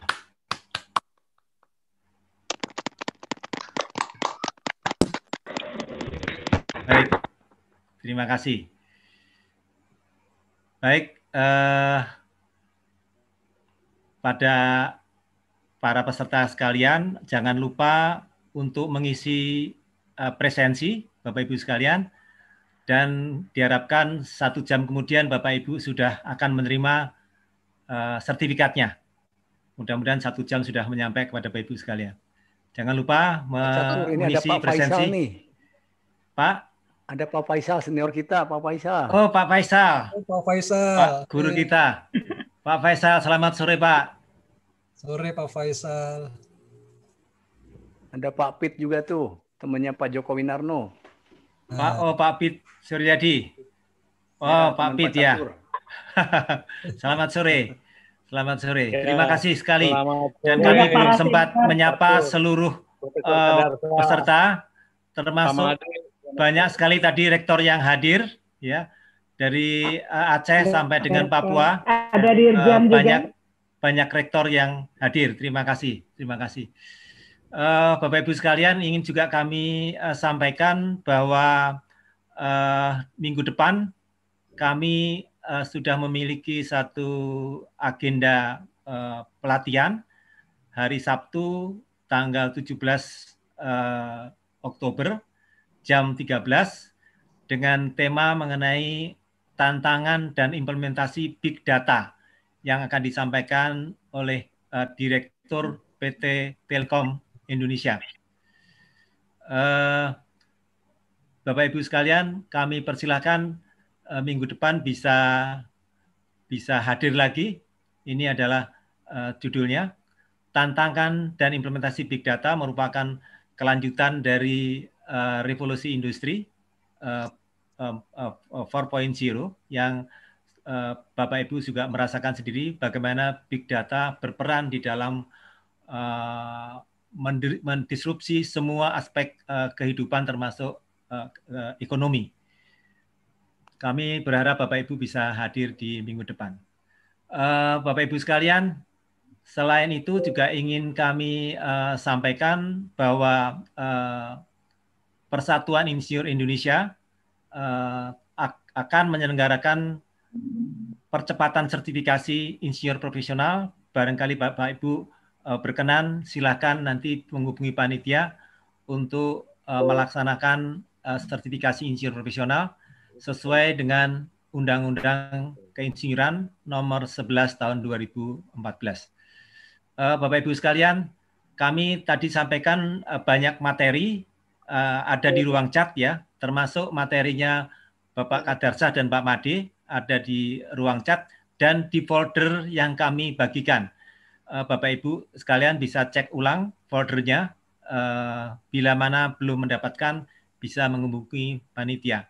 Kami eh, sekali lagi mengucapkan terima kasih atas sponsorship dari PT PAL Indonesia. Baik Bapak Ibu sekalian, kiranya eh, kita akhiri perjumpaan kita dan kami mohon maaf apabila di dalam penyelenggaraan acara ini eh, ada hal-hal yang kurang berkenan dan kami berharap bisa disempurnakan di lain kesempatan. Terima kasih. Assalamualaikum warahmatullahi wabarakatuh. Selamat sore. Selamat eh, bermalam minggu. Waalaikumsalam warahmatullahi wabarakatuh. Pak Catur. Sukses baca. Luar biasa. Terima kasih. Selamat buat semuanya. Terima kasih Terima kasih, Pak. Terima kasih Prof. Terima kasih, Pak. Terima kasih, Pak Catur. Terima kasih. Terima kasih. Terima kasih, Pak Catur. Terima kasih, Prof. Terima kasih para rektor, terima kasih para Terima dekan. kasih Pak Kadarsa. Terima kasih Ibu Indah. Pak. Terima kasih. Ya. Oh, nih semuanya. Terima kasih, Pak Catur. Ya, terima kasih. Turun, Prof. Sampai 753 Ya. dan masih bertahan Mohon sampai waktunya kapan 600 nanti kita bisa berpodcast Rekaman kami akan kirimkan ke email masing-masing. Rekaman akan kami kirimkan ke email masing-masing. PI Nusantara. Ya, yang belum isi presensi harap isi presensi ya Gazali. dan Ibu peserta. Silakan ada di link, ada di room chat yang belum isi. Yang belum mengisi eh, presensi silahkan mengisi di ruang chat daftar hadir. Mudah-mudahan satu jam kemudian Bapak Ibu sudah sudah mendapatkan sertifikat di email masing-masing ya.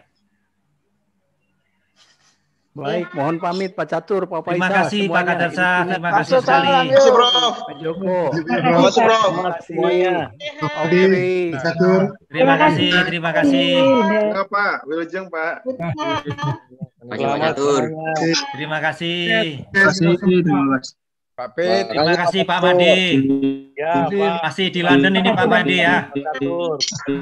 Terima kasih Pak Catur. Terima kasih, terima kasih. Eh, Pak Made, terima kasih. Terima kasih Pak Joko. Terima kasih Pak. Terima kasih Profesor Susi. Terima kasih Bu Susi. Terima kasih Bu Susi. Terima kasih Pak Catur. Terima kasih. Terima kasih banyak. Terima kasih. Gerhamsah dari Unsia. Pak Simon. Apa kabar Pak Simon? Baik Pak Catur. Terima, kasih Pak Catur. Mon, Pak Diramsah. Ya, Mas Joko. Ya, sukses selalu. Terima kasih Pak Catur. Terima kasih, terima kasih. Izin Pak, izin. Silakan, silakan. Selamat berakhir pekan, selamat berakhir pekan. Pak Diramsah. Sehat, Mas Joko. Terima kasih Pak. Bu Tina. Yes. Pak Dirham. Mari. Bu Susi. Sehat. Ya, Bu Tina. Salam. Ya, sehat. Widarno. Bu Susi kangen banget. Pak Joko Widarno, Ya. sehat selalu Pak Joko. Kapan-kapan ya. Sehat ya, sehat ya. Terima kasih. Pak Catur. Atur Ya, terima kasih Pak Koktri. Nah, Assalamualaikum. Terima kasih. Salam. Terima kasih semuanya. Sehat ya. Minggu depan ketemu lagi ya. Ya, Mas Allah. Iya, mantap dulu. Assalamualaikum. Waalaikumsalam. Terima Ridho, kasih. Terima kasih Pak Ridho. Ya, Pak. Iya, Pak. Kosawa.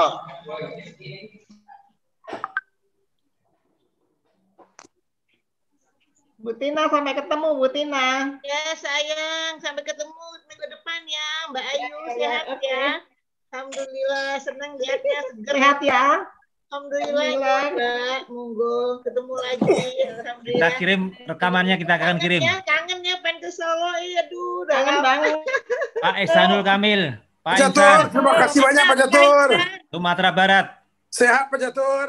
Alhamdulillah Pak. Dinda, apa kabar Dinda? Masya Allah, luar biasa. Apa kabar?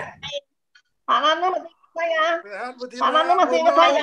Sehat, sehat, luar biasa. Sehat, Alhamdulillah. Aduh, melepas Sehat Bu Nur ya. Bu Tina sehat ya. Apa kabar Bu Tina? Sehat, Irma, sehat ya, selamat. Terima kasih Irma. Terima kasih. Alhamdulillah. Pak Insano, apa kabar? Ya, baik Bu, apa kabar? Sehat ya? Alhamdulillah. Sampai ketemu lagi ya. Sampai ketemu ya. Siap. Ya Pak. Apa kabar Bukit Tinggi Padang? Alhamdulillah sehat. Aman terkendali. Apa kabar Pak Lano? Apa sehat Bu? Sehat, alhamdulillah. Sehat selalu Bu ya. Terima kasih. Alhamdulillah sama Terima sama ya. Yang yang baru hadir, silakan mengisi presensi yang baru hadir. Silakan mengisi presensi. Mudah-mudahan satu jam kemudian sudah terima sertifikatnya. Pak Catur, makasih Pak Ya. Catur. Terima kasih Bu Irma. Live ya. izin Ya, terima kasih. Silakan mengisi presensi yang baru hadir di ruang chat, di ruang chatting ya. Silakan diisi. Mudah-mudahan eh, segera memperoleh sertifikat. Oke. Terima Nah, kasih ini Pak sudah, live ya Pak. sudah sudah banyak Teknik Industri Lulus Sangga Buana nih, terima kasih. Ya. Ini minggu depan ya, silakan hadir. Sabtu tanggal 17 Oktober jam 13 oleh Pak Dr. Komang Budi Aryasa. Sudah di-share di Telegram ya, Pak? Eh, sudah, sudah. Sudah Pak. di, Terima di kasih, share. Pak. Silakan mengisi eh, untuk mendapatkan linknya. Baik, Pak. Terima kasih, Pak. Assalamualaikum. Waalaikumsalam Pak Agus. Waalaikumsalam warahmatullahi wabarakatuh. Senang ya. Terima kasih Pak Catur. Terima kasih, terima kasih. Terima kasih Pak Catur, Pak Ya Adam. Pak, terima kasih. Terima Ya, kasih, terima Pak kasih Catur. Pak Terima Catur. kasih dari Papua, kasih. terima kasih dari Kalimantan, dari Sulawesi. Ya, terima kasih Pak. Terima kasih. Rasanya nggak mau nggak mau live, rasanya nggak mau live nih.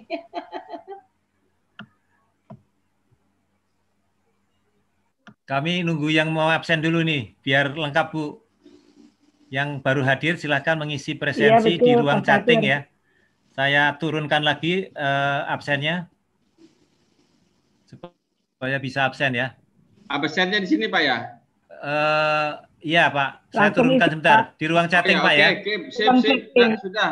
Sudah dapat. Sudah dapat ya Pak? Hmm. Oke, itu ada linknya. Eh, linknya. Ada yang belum dapatkan materi juga ada nih, link materi ada di sini. Oh ya siap Pak. Eh, silakan diambil dari link eh, dari ruang chatting, Pak. Sudah ketemu? Kalau belum ketemu, saya turunkan lagi. Sebab kalau Bapak datangnya agak terakhir, eh, mungkin kelewatan. Jadi harus saya turunkan lagi linknya. Apa sudah semua materinya? Di dalamnya ada dua materi dari Pak Madi dan dari eh, Profesor Kadarsa. Sudah ada yang lapor mendapatkan sertifikat? Yang absennya paling awal biasanya akan keluar lebih cepat.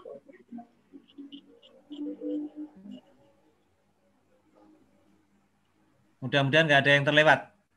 Abs- apa email email emailnya di, dicek sekali lagi dan juga dicek di eh, spamnya ya. Kadang-kadang masuknya ke spam. Udah Mas. Mas Catur udah. Sudah ya. Masuk ya. Terima kasih. Alhamdulillah. Alhamdulillah sudah Ada sudah surat dari sertifikat. SIA datang tercatat Live duluan Pak Catur. tercatat belum ya belum Pak Catur. Ya, terima kasih. Duluan, terima kasih Pak Catur. Terima kasih. Yang belum absen ada? Kalau sudah sudah dapat materi semua? Ini eh, banyak yang bertanya di form pertanyaan, tapi nanti akan kami bagikan jawabannya setelah dikoleksi oleh Profesor Kadarsah.